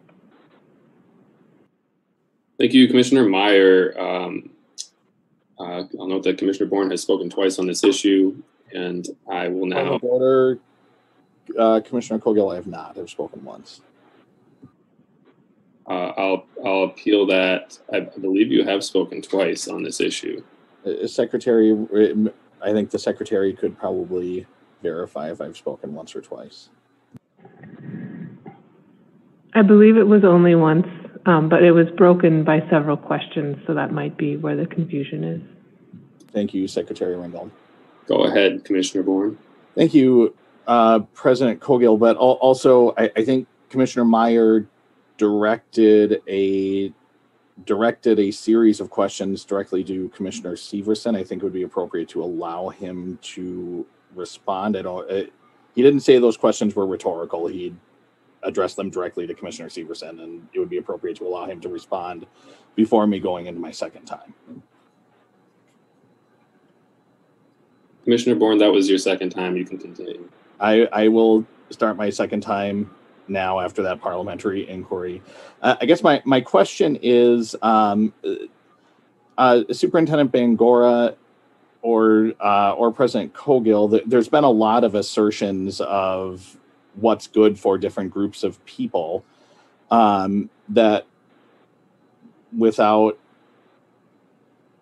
that we may not be part of. Um, and uh, Minneapolis does have an advisory committee on people with disabilities.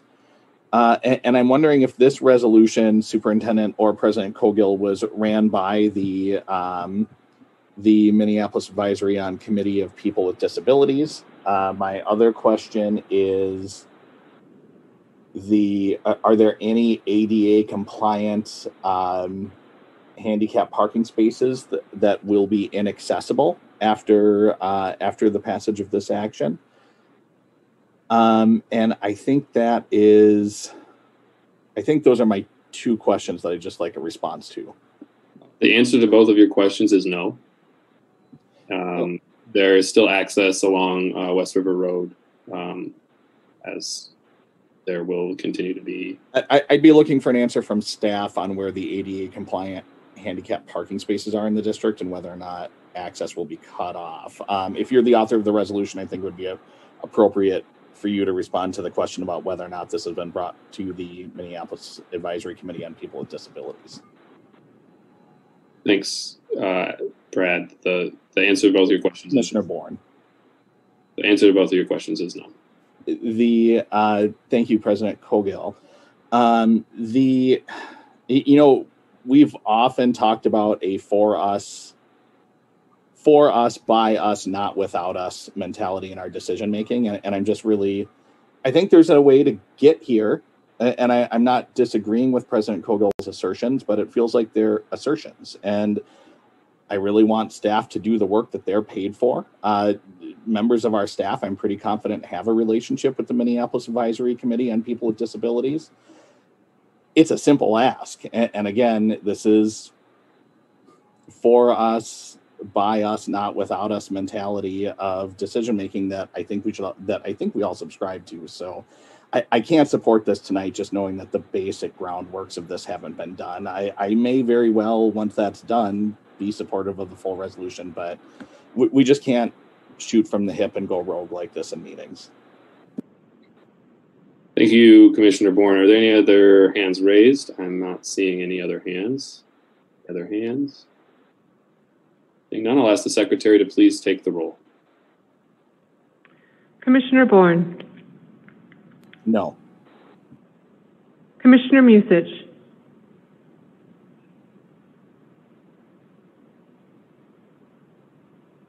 Commissioner Musich,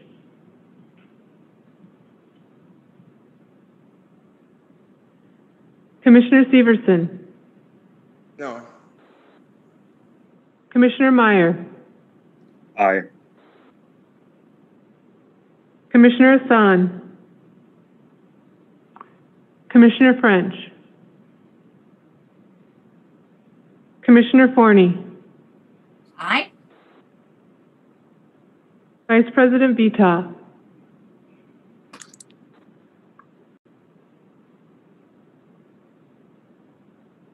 Vice President Vetaw,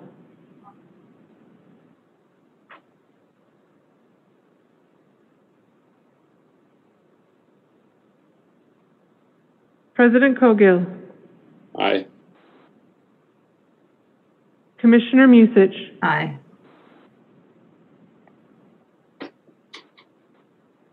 Commissioner French, Commissioner Hassan, Vice President Vetaw.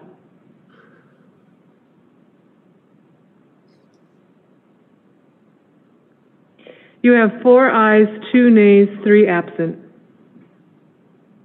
That carries. I will now um, we'll now move into petitions and communications. Commissioner Bourn.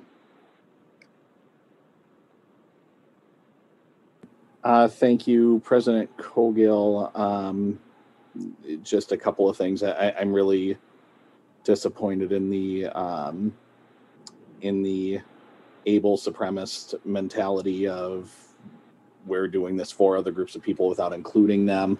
Um, it, it's an incredibly easy thing to do to reach out to the Minneapolis uh, Committee on um, People with Disabilities, and, it's just very disheartening that we would not do such a thing for, and then almost like in a missionary style attitude, say this is what's good for them. Um, so, so I just hope that we would take that as a learning lesson for a resolution that I think probably seven, eight, nine commissioners could have probably gotten behind, um, but not at the expense of just speaking for other groups. Um, I'm also really disappointed that, um, you know, after six years of, of hard work on the Hiawatha master plan by staff and, and all nine commissioners, that it something couldn't cross the finish line that we all that we all believed in. Um, I do think that there are some urgent matters for um, manually and mechanically cleaning up the uh, storm drainage issues into um, into the lake. And I think as we start on a new master plan, um, there might be some some iterations that we can that the board can take action on swiftly to address um, some of the issues there. But um, again, it was just really really unfortunate that after six years, we just couldn't get something across the finish line that enough of us believed in. Commissioner Severson. Uh, I, you know, it's, it's quite disappointing that, um, we couldn't reach out to those that may be affected by these, these, um, parkway closures. Uh, I, I really hope that the progressives that are out there listening to our board meetings or have these conversations while the elections are coming up are, are understanding that some of our colleagues are not so progressive. Um, because progressive people include all, um, and they don't leave people out. And tonight was another prime example of of leaving uh, people out.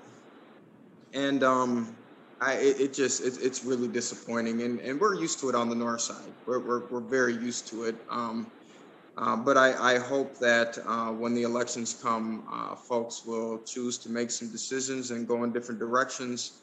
Um, because uh, we need to make sure that we're being inclusive and doing our due diligence. And tonight, I, I don't feel we did that, and I'm clearly disappointed by it. Thank you. Commissioner Meyer. Pass. Um, Commissioner French. Not Seeing Commissioner French. Commissioner Musich. Thank you, President Cowgill. Um, disappointment must be the theme du jour this evening uh, because I too am feeling disappointed. Uh, and I'm shocked to hear that any, any of my colleagues would think that we should be expending additional taxpayer money trying to come up with a master plan for this site, uh, considering the fact that we spent time, a lot of time, and energy and money trying to come up with a plan that met as many needs as possible.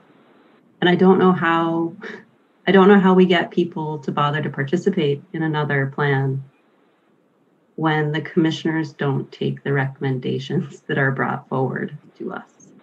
Uh, it's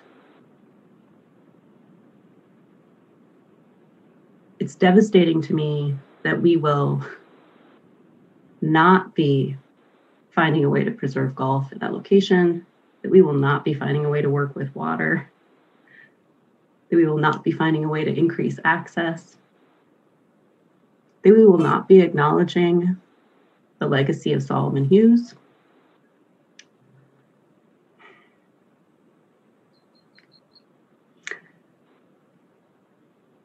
I would like staff to help us understand what the next steps are moving forward without an adopted master plan. I believe we told the DNR we would have one by this point. Um, and since we do not, do we now need to apply for a permit to continue pumping at this at current levels or what happens next now that we chose to do nothing? That, that's what I would like to understand. Um, so I'm, I'm sorry to my constituents that I was unable to carry this one over the finish line for you. Um, I had hoped for a better outcome. Thank you. Thank you, Commissioner Musich. Commissioner Forney. Thank you. I too am very disappointed in what's occurred today or tonight.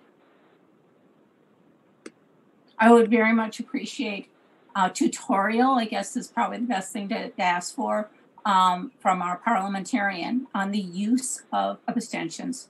Has been used over and over and over again by certain people. And to me, it's a complete and absolute abdication of your oath of office. The words that were came out this evening are so contradictory and so irresponsible to our community. Once again, I hope that we can get a tutorial on the use of abstention. It has been overused and is a I am just so disgusted. Thank you, Commissioner Forney. Um, uh, Vice President Vetaw? Thank you, President Cowgill. Um, first, I'm sorry for whatever vote I missed just a bit ago. It was taking forever and I had to take a break. So I'm really sorry about missing that vote. Um, secondly, I just want to say, uh, you know, I'm, I'm apologetic to Mr. Solomon Hughes' daughter, who has been, I, I, found out just recently that she had been working for years trying to get the clubhouse uh, changed in, to be in honor of her father. And so it meant a great deal to me to bring that amendment forward tonight. And then just, you know, I've really had a lot of engagement with the Black community around these amendments that were brought forward. And I'm, I'm just sad that that this happened and that, you know, folks really got behind this and we got to a point where we we couldn't even table, but we had to, you know, make the vote and it didn't go in our favor. So that's it for me. Oh, the last thing is, um, you know, it's getting warm out. Folks are out enjoying the parks, park spaces, walking more, being a lot more active. I'm I'm thrilled with what our staff has put together. Um, with the restrictions that we still have due to COVID, and I'm excited to see more folks out enjoying the park space. Thank you, Vice President Vetaw. Um, apologies to all commissioners this evening who are frustrated in, in a variety of ways. Um, hope to work with you all in passing uh, resolutions that, that we can get behind. Um, it's uh, certainly unfortunate that a commissioner who has been on the board for the entire time that we've been discussing the Hiawatha Golf Course just doesn't even have an opinion about it at the end of the day when we were voting on it. Um, and I'm hopeful that uh, all the commissioners, especially our most senior member, will be part of a, a solution uh, moving forward since uh, what uh, failed um, this evening um, will need to be um, need to be thinking about what, what we're going to do in its place um, because there's work that needs to be done and it has to happen. So um, more to come on that soon. Um, I appreciate commissioners uh, recognizing that we don't need to exhaust our communities to do what's right for uh, opening up some additional roadway space for people. It's not very much. It's not for a very long time. Um, it's not particularly uh, concerning or uh, a, big issue. So I, I, appreciate the support, and um, I I think that uh, it's important to um, to be responsive in a in a time where where things are a bit odd still. Um, I'm very hopeful that we're moving towards a time where um, where we in our communities feel a little bit more on even uh, even playing field, even keel, uh, and know what to expect uh, moving into the future. And I really thank our park staff for giving people that sense of um, solidity, I guess, with our programs, with our park spaces, with spaces that people can feel safe and feel um, rejuvenated. Um, the amazing work that park staff has done to respond to the really um, important uh, calls from commissioners around um, getting uh, youth violence prevention initiatives started throughout the, the, system. I'm hopeful to see a presentation on our progress there uh, at a future meeting, and I'm looking forward to Chair French and Vice Chair Severson um, providing us some updates um, through the Recreation Committee um, because that work has been going on pretty pretty fantastically, and um, it's, it's, the the lifeblood of what we do. Um, thank you all, and I will now close the regular meeting of the park board and turn it over to Chair Chair Vetaw for the Legislative and Intergovernmental Committee.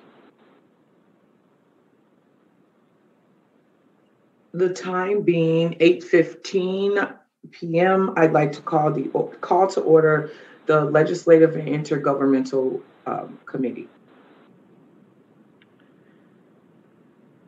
Will the secretary Commissioner Meyer. take the roll? Thank you, Secretary. Thank you. Commissioner Meyer. Here. Commissioner Hassan. Commissioner Forney, Here? Chair Vetaw, Present. you have a quorum. I'd ask for a motion for approval of the agenda. So So moved. moved. Will the secretary please take the roll on approval of agenda? Commissioner Meyer, Aye. Commissioner Hassan, Commissioner Forney, Aye. Vice President Vetaw, Aye. you have three ayes, one absent.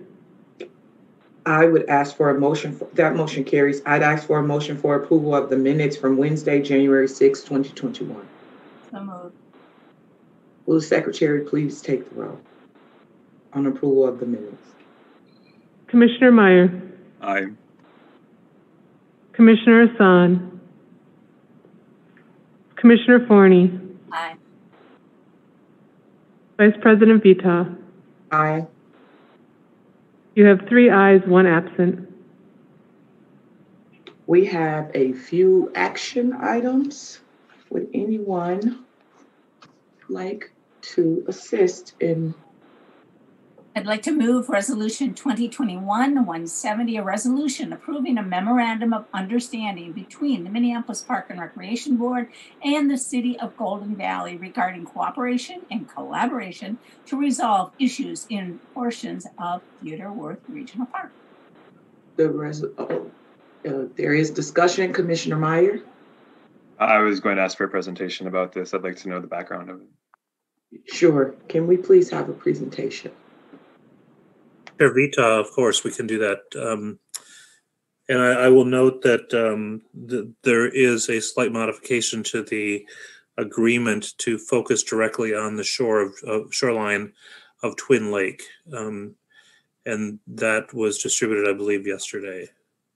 So if you can go to the next slide, please. This is, this will be just all words and I'll go through it fairly quickly and then allow people to ask questions. So um, th- we were made aware, um, and I think commissioners know this, of certain activities happening within Wirth Park and within the corporate limits of the city of Golden Valley um, for those impacting uh, ostensibly the quality of life of those residents who are living near near the park.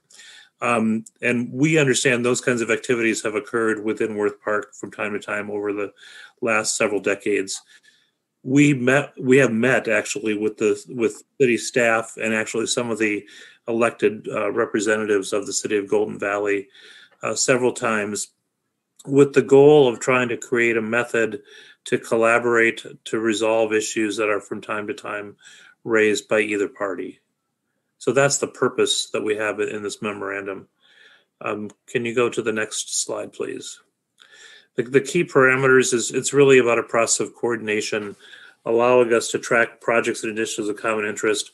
And we would do that through a, a, a series of meeting types leadership meetings which would allow um, at least two representatives of each um, governing body to come together with leadership from staff to discuss issues.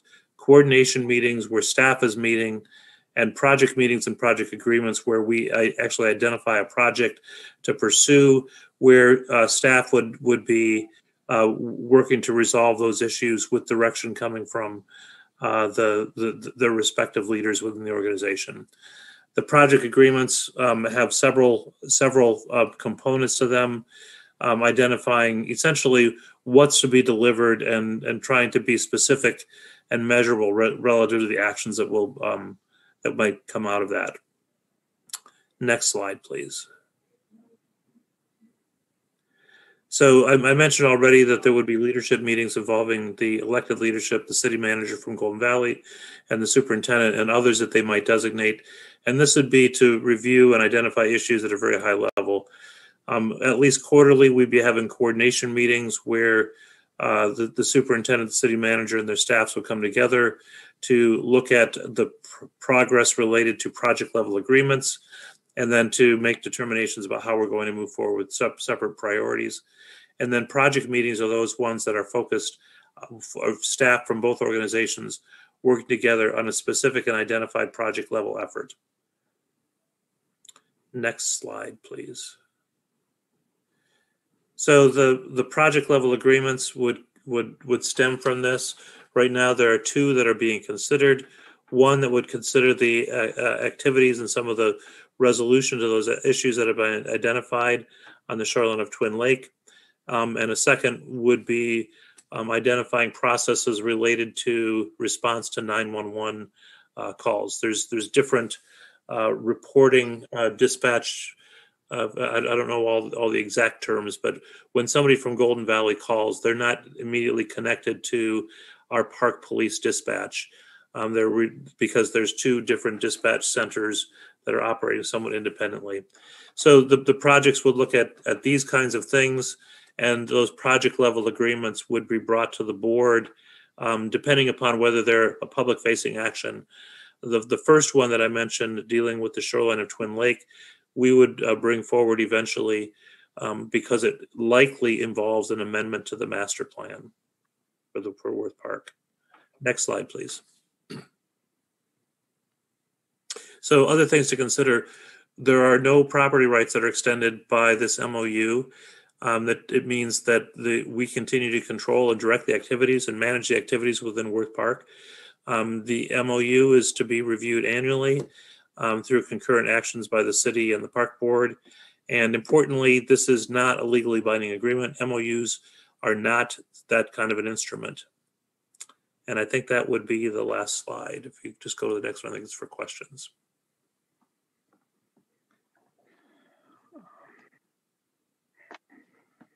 Thank you, Assistant Superintendent Schroeder. Um, I think Commissioner Forney had her hand raised. Commissioner Forney, you have a question? Um, yes, um, thank you. You did mention policing, and I know that there was issue last summer, um, where we had to, we did change up some of our, um, regulations. And is this a part of some of the, um, what should we say? The memorandum that will be discussed and looking at, you know, whose jurisdiction and whose ordinances and stuff like that, um, are superseding?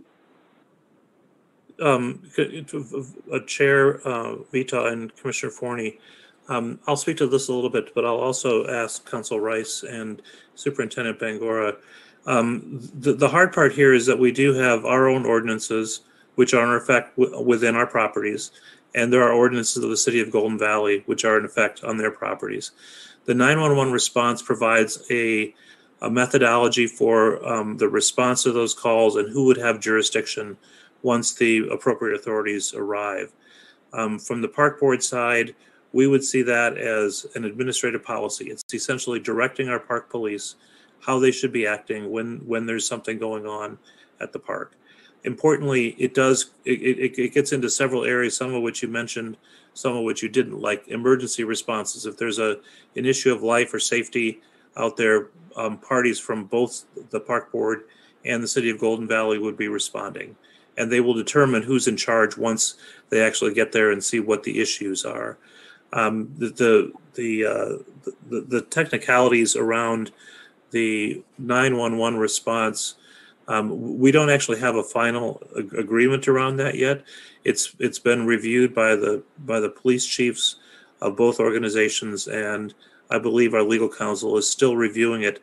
But I think it's our intention that from our side, that would be an administrative policy and not something that would be brought to the board because it's simply telling our police, setting up a methodology for our police to be responding relative to things within the corporate limits of Golden Valley. And maybe I, I should allow Counsel Rice or Superintendent Bangoura to weigh in on that question as well.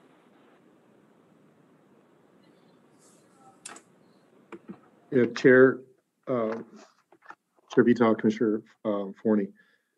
Michael kind of explained it well, um, and I think he articulated well. I think that we are currently both uh, Chief Ohotto and Chief Sturgis are working through um, those response calls and how, um, you know, how it administratively how it's going to be dealt with when we do have a call over uh, at at the beach area or within the um, area of the park. Um, so they're working through that now, and um, and I think they're coming along really well with an understanding of how to uh, respond and work through these things. And so um, at this point, I think that um, we're letting the chiefs, both chiefs work through it administratively. Once they bring it forward, Counsel Rice will uh, take a look at it, and from there, we can then really establish a good working relationship, both with the uh, City of Golden Valley and, and, and Minneapolis Park and Recreation Board, and uh, as far as how we respond to um, any concerns around um, uh, the section of Theodore Wirth, in particular the beach area.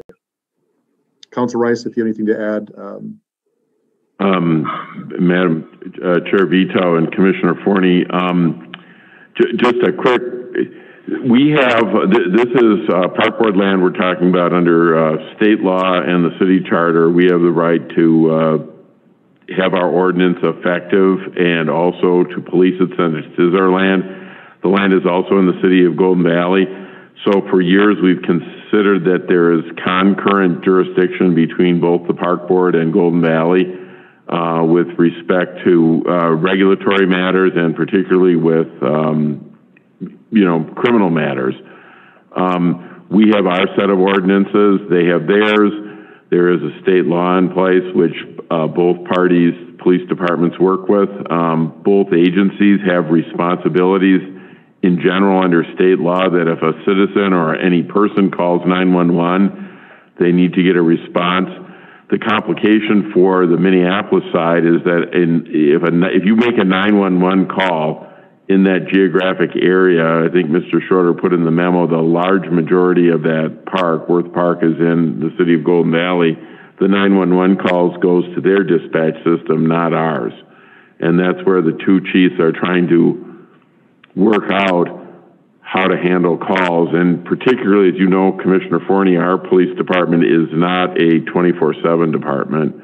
Um, Golden Valley, I believe, does have a responsibility with their. They have 30 plus police officers uh, in a city with 20,000 people, and uh, probably a city with about uh, 10 square miles. We have uh, 30 police officers with 420,000 people in a jurisdiction with probably close to 60 square miles.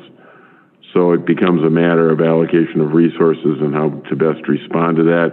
I do understand the two chiefs have been working out a protocol system about how calls could be answered. Um, there is a legal obligation by both departments to respond to um, calls for help, and if it needs to come before the board, it will. Thank you all. I just, you know, I appreciate that we have this resolution coming forward. We have an amazingly good neighbor in Golden Valley and anything that we can strengthen, you know, what our obligations are and, and communication. I, I really appreciate it. And, and it was unfortunate what happened last summer. And I'm glad that, you know, we're moving forward with this. So thank you very much for moving this. Thank you, Commissioner Forney. Commissioner Meyer.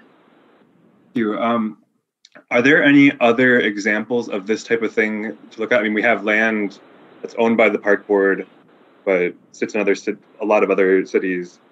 Uh, do we have any kind of other agreements, or is this like the first of its kind that we're looking at here?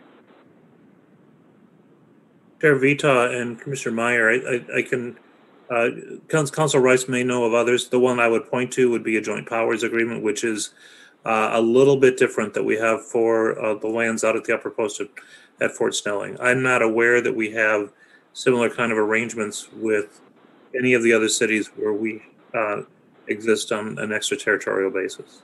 Specifically, like the the quarterly meeting things. I'm kind of stuck on that one because it just seems like a lot to me.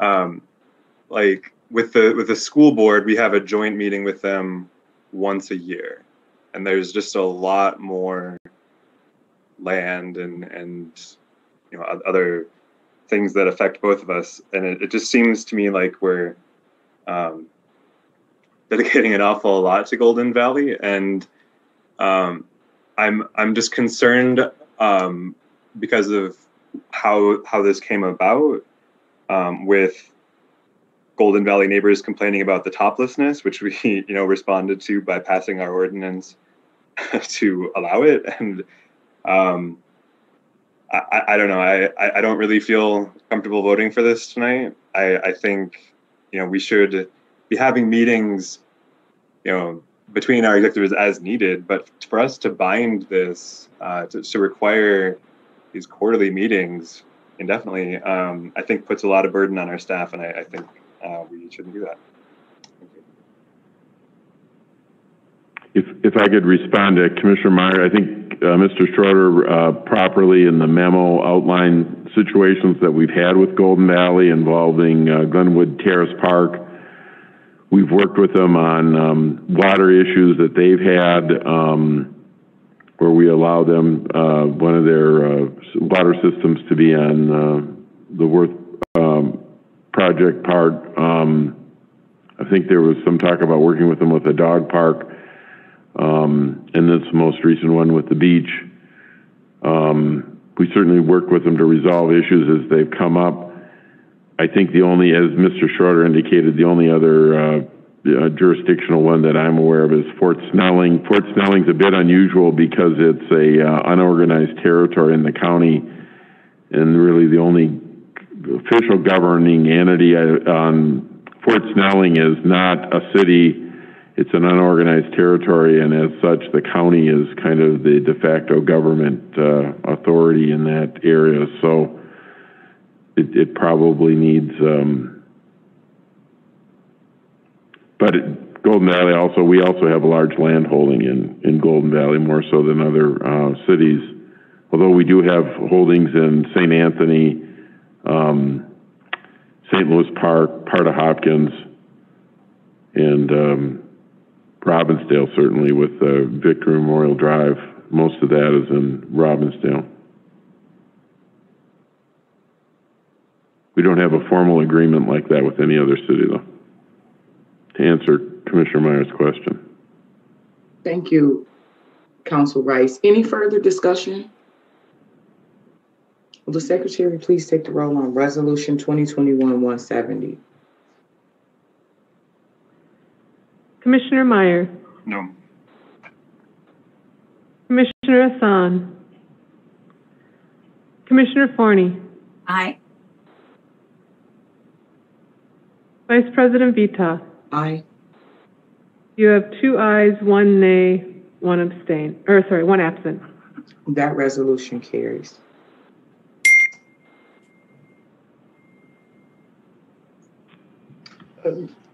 Would someone like I'll to? move resolution, I'll move resolution twenty twenty-one one seventy-one, resolution approving the twenty twenty-one federal legislative agenda of the Minneapolis Park and Recreation Board. Any discussion? Commissioner Meyer, Uh, never mind. Mine's for the next one. I'll wait for the next one. thank you. So no discussion? Will the secretary please take the roll on 2021-170, Resolution 2021-171, please? Commissioner Meyer, Aye. Commissioner Hassan, Commissioner Forney, Aye. Vice President Vetaw. Aye. You have three ayes, one absent. That resolution carries. I'll move resolution twenty twenty-one one seventy-two, resolution approving a one-year contract effective April twenty-second, twenty twenty-one with Primacy Strategy Group in the amount not to exceed ten thousand dollars for lobbyist services. Commissioner Meyer, Thank you. Um, can I ask staff, like, wh- where does this money come from? Where, where would the money like otherwise be if it um, wasn't allocated? If, or if we don't approve this?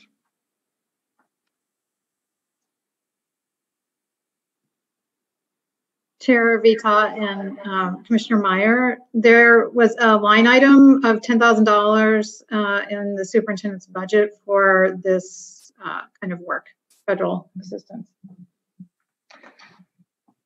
And my apology, I was trying to log in and get there, so thank you, Pamela. Okay. Um, right. Uh, so I'm gonna probably be. I'm I'm gonna vote against this because I feel like we have, you know, increased our, um, the the, the amount of money that we allocate uh, to interacting with other governments by quite a substantial amount.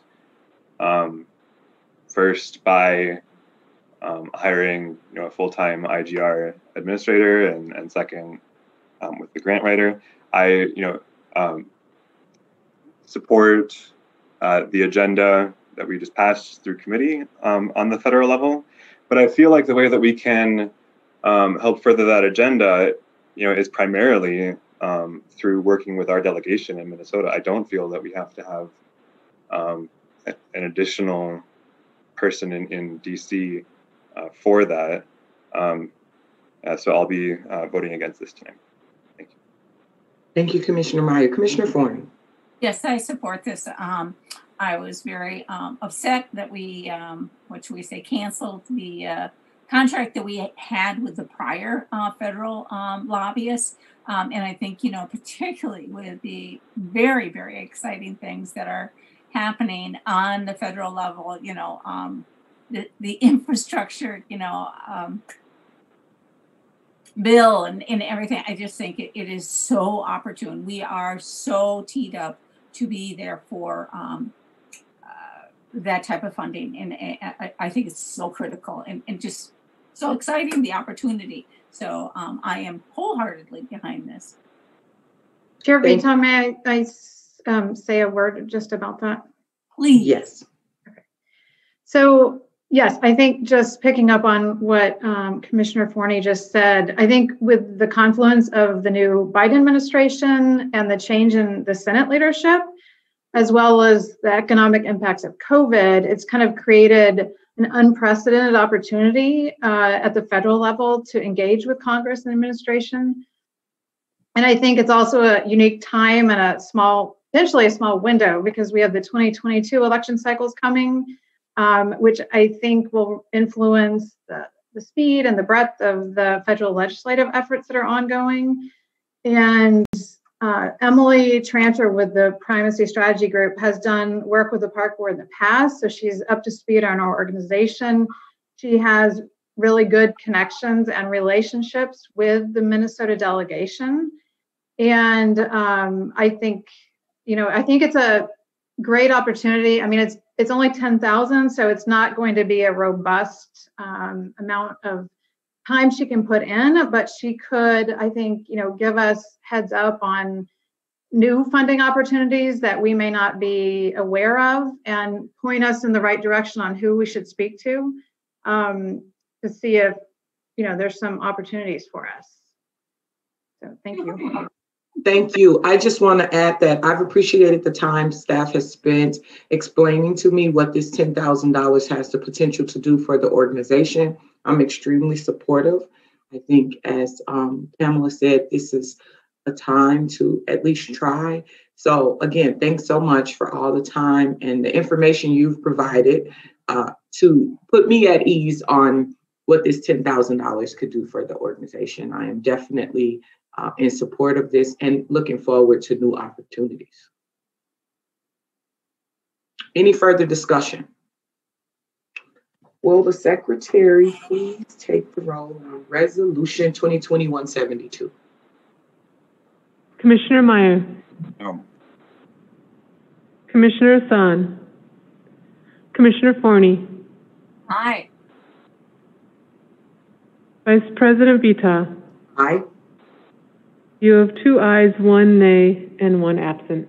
That resolution carries, and I will adjourn the intergovernmental, the legislative and intergovernmental committee meeting. Time being 8:39 PM, I call to order the planning committee. Secretary, please call the roll. Vice President Vetaw. Aye. Commissioner Musich. I'm present, but I can't get my video started again. Sorry about that. I'll keep working on it. Uh, Commissioner French.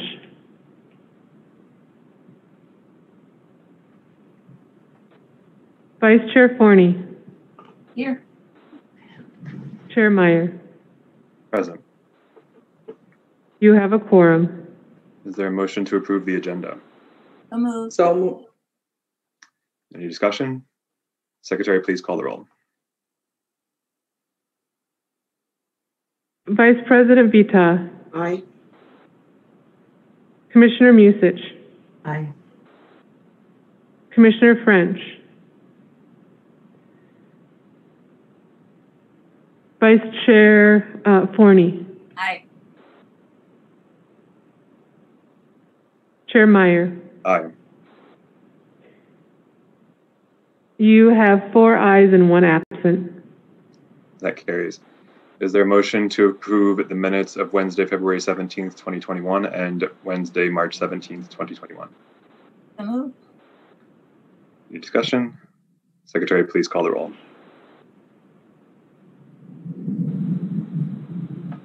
Vice President Vetaw, Aye. Commissioner Musich. Aye. Commissioner French,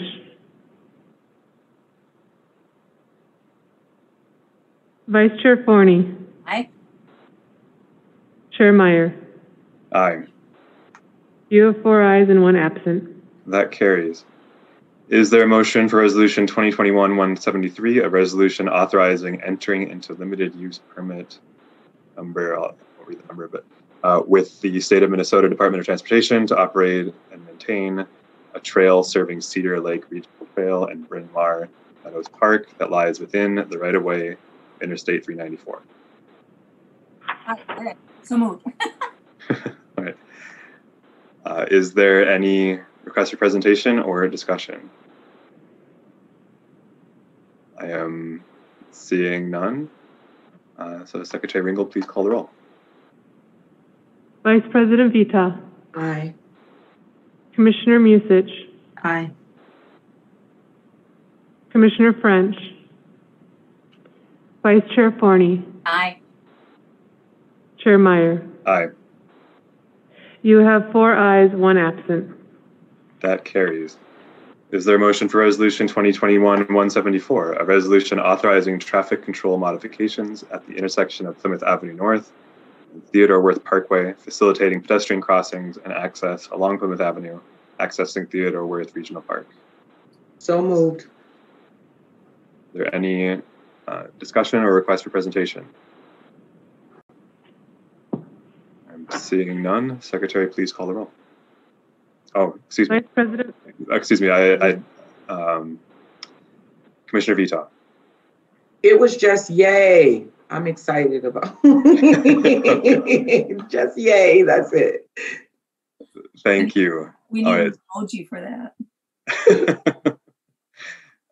There, I, I, I don't know. I think you'd have to ask Counsel Rice if that's allowed.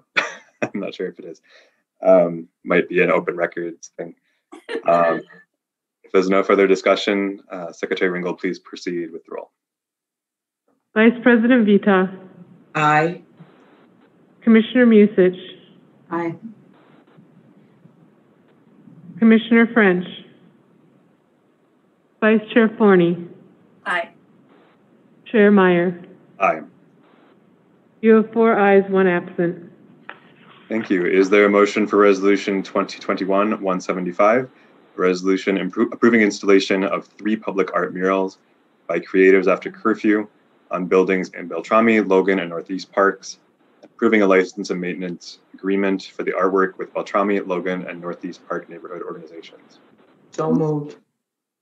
Thank you. And I'd like to request just a brief presentation just to show everyone what we're uh, doing with this, uh, because I think it's it's a pretty cool thing that's happening. Uh, so, uh, Colleen Odell with a quick presentation.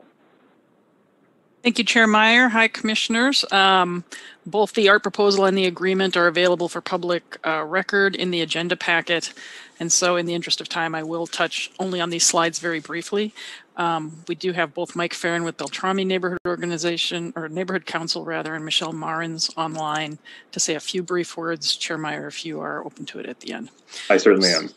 Okay, so this is a proposal for three building murals at three parks in Northeast, Beltrami, Logan, and Northeast. Next slide, please.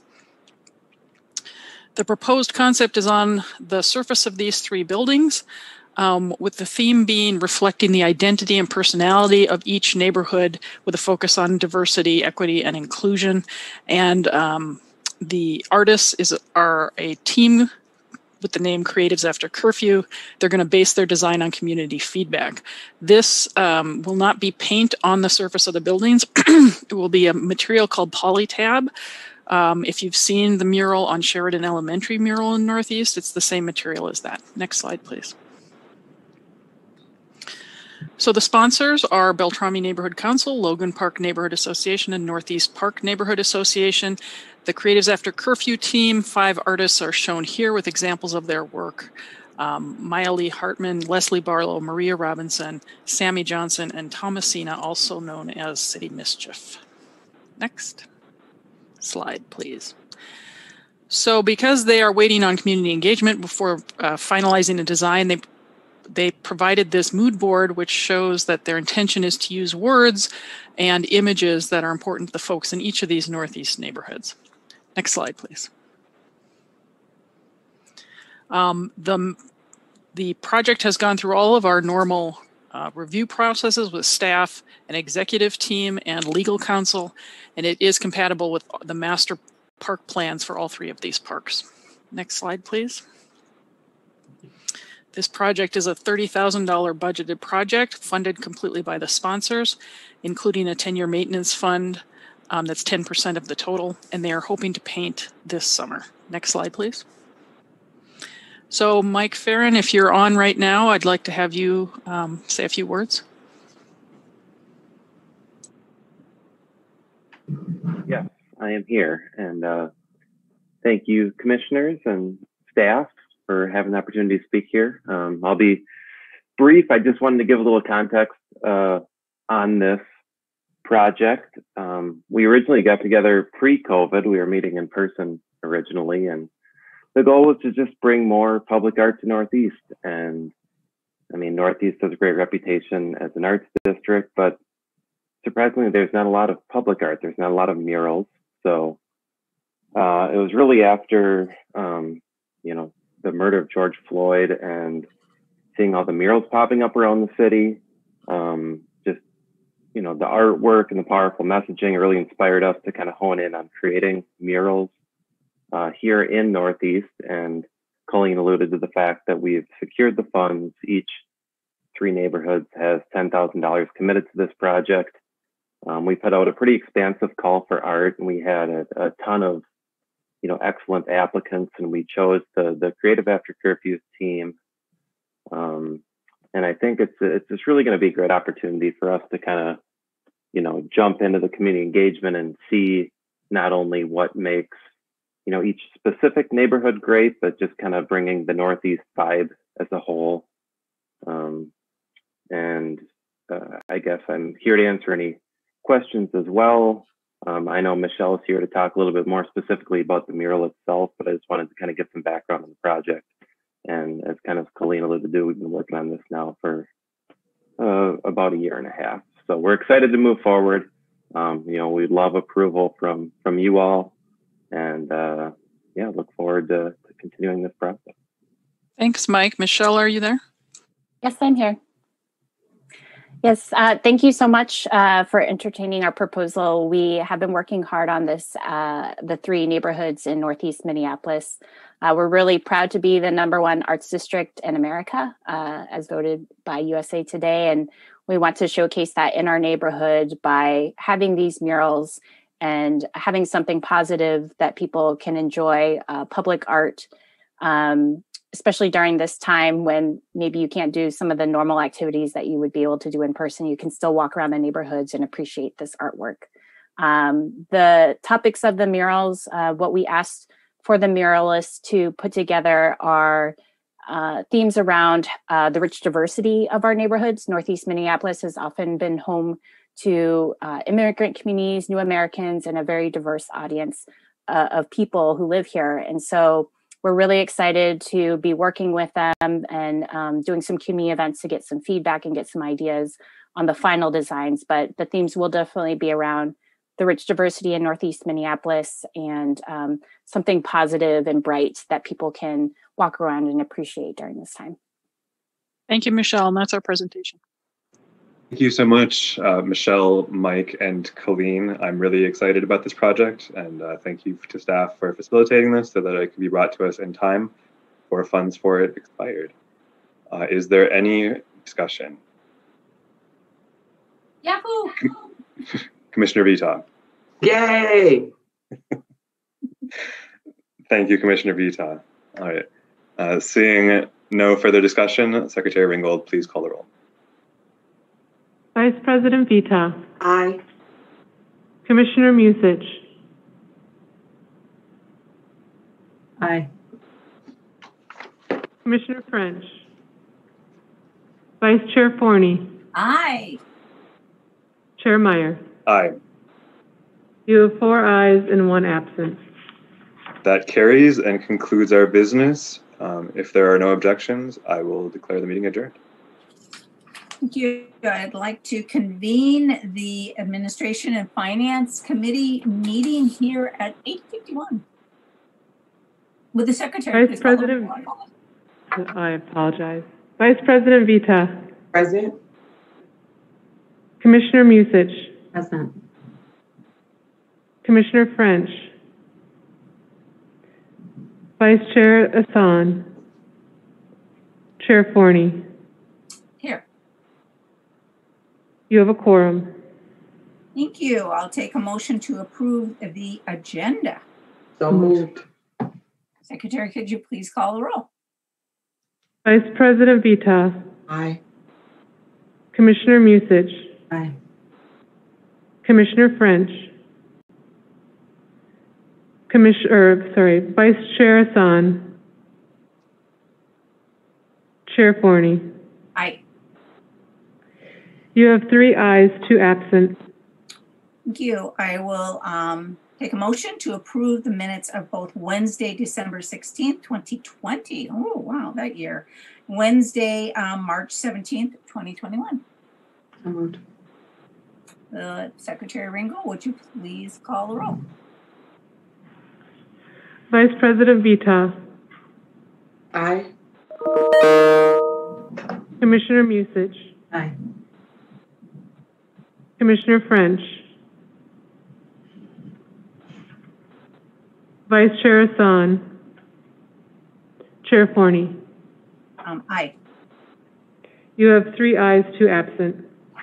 Thank you. We have, what, four resolutions. Um, well, the first one, the I'll move resolution 2021-177, resolution directing staff to review and update existing policies to incorporate a consistent approach for addressing conflicts of interest, upholding ethics, and ensuring productive work environments in Minneapolis Park and Recreation Board, community advisory committees, commissions, and boards.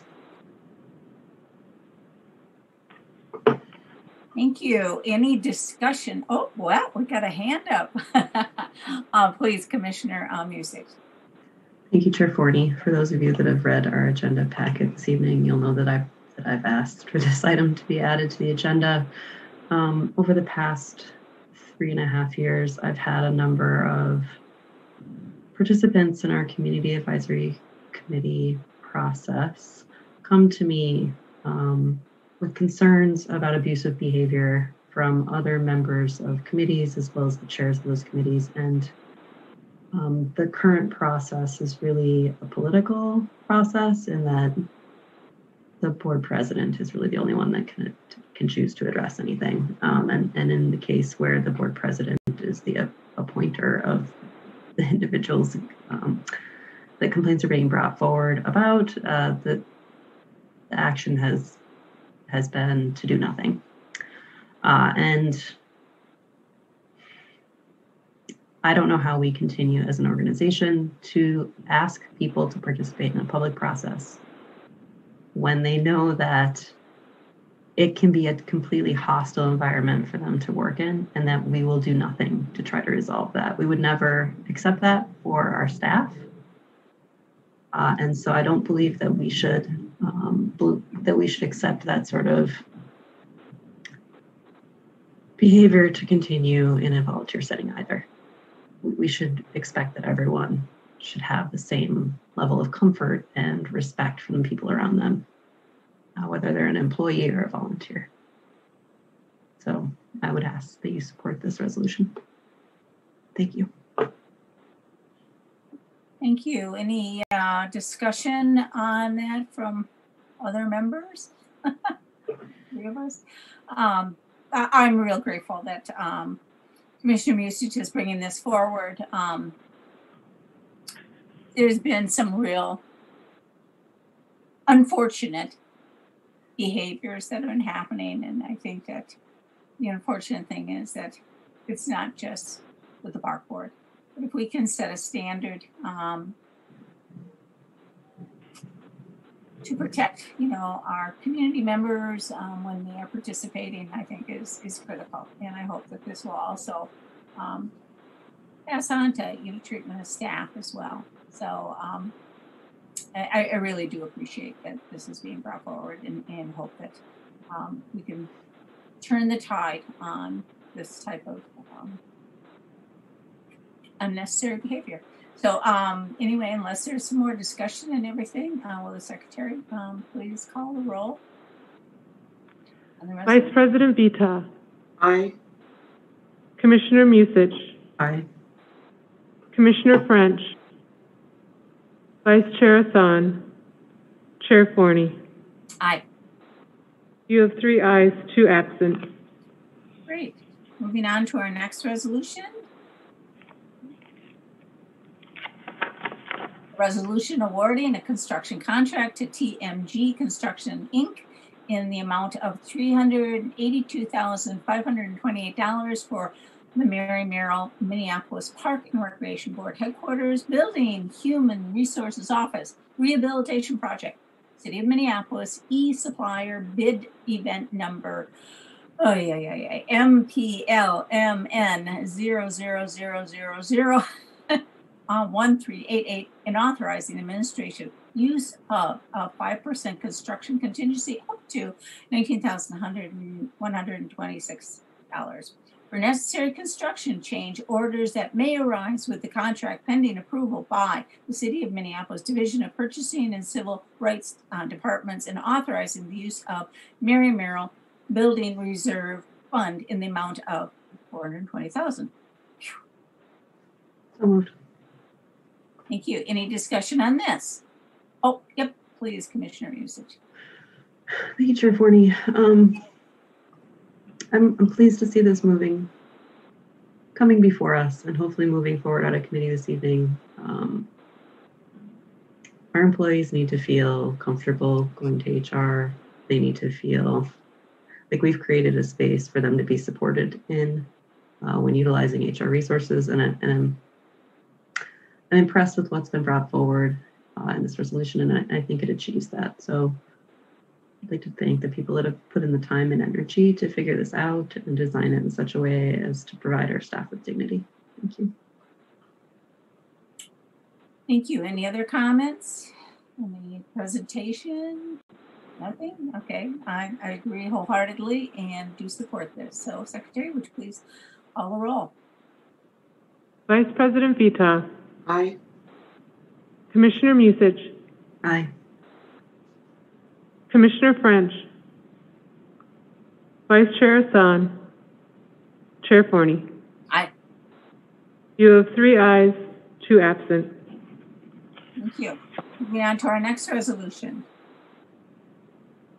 Okay, a resolution approving a shared uh, resolution 2021-179 resolution uh, approving a shared use agreement between Minneapolis Park and Recreation Board and Fort Snelling Lease Housing Associates 1 LLLP, um, FSLHA, to allow the MPRB to connect to and discharge into the private sewer system owned and operated by FSLHA, located at Fort Snelling State Park and the upper post of Fort Snelling State Park.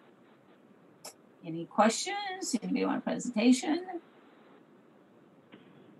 Not seeing any. Secretary, would you please call the roll? I just need someone to move it.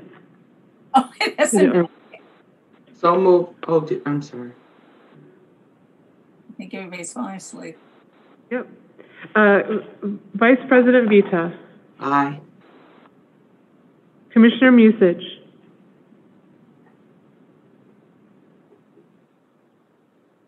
Commissioner Musich, and we didn't hear you. Sorry, I forgot to unmute. Aye. Commissioner French. Vice Chair Hassan. Chair Forney. Aye. You have three ayes, two absent. Thank you, Cliff.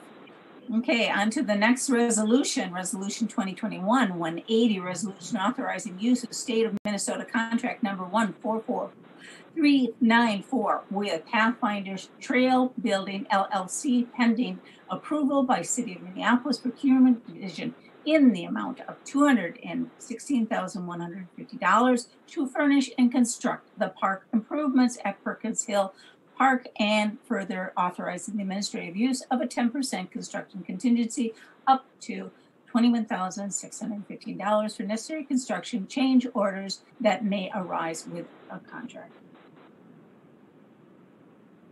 Any questions, any demonst, or, uh, presentation? Doesn't So- look like that. So Oh, moved. Thank you. Okay, um, will the secretary please call the roll? Vice President Vetaw. Aye. Commissioner Musich. Aye. Commissioner French. Vice Chair Hassan. Chair Forney. Aye. You have three ayes, two absent.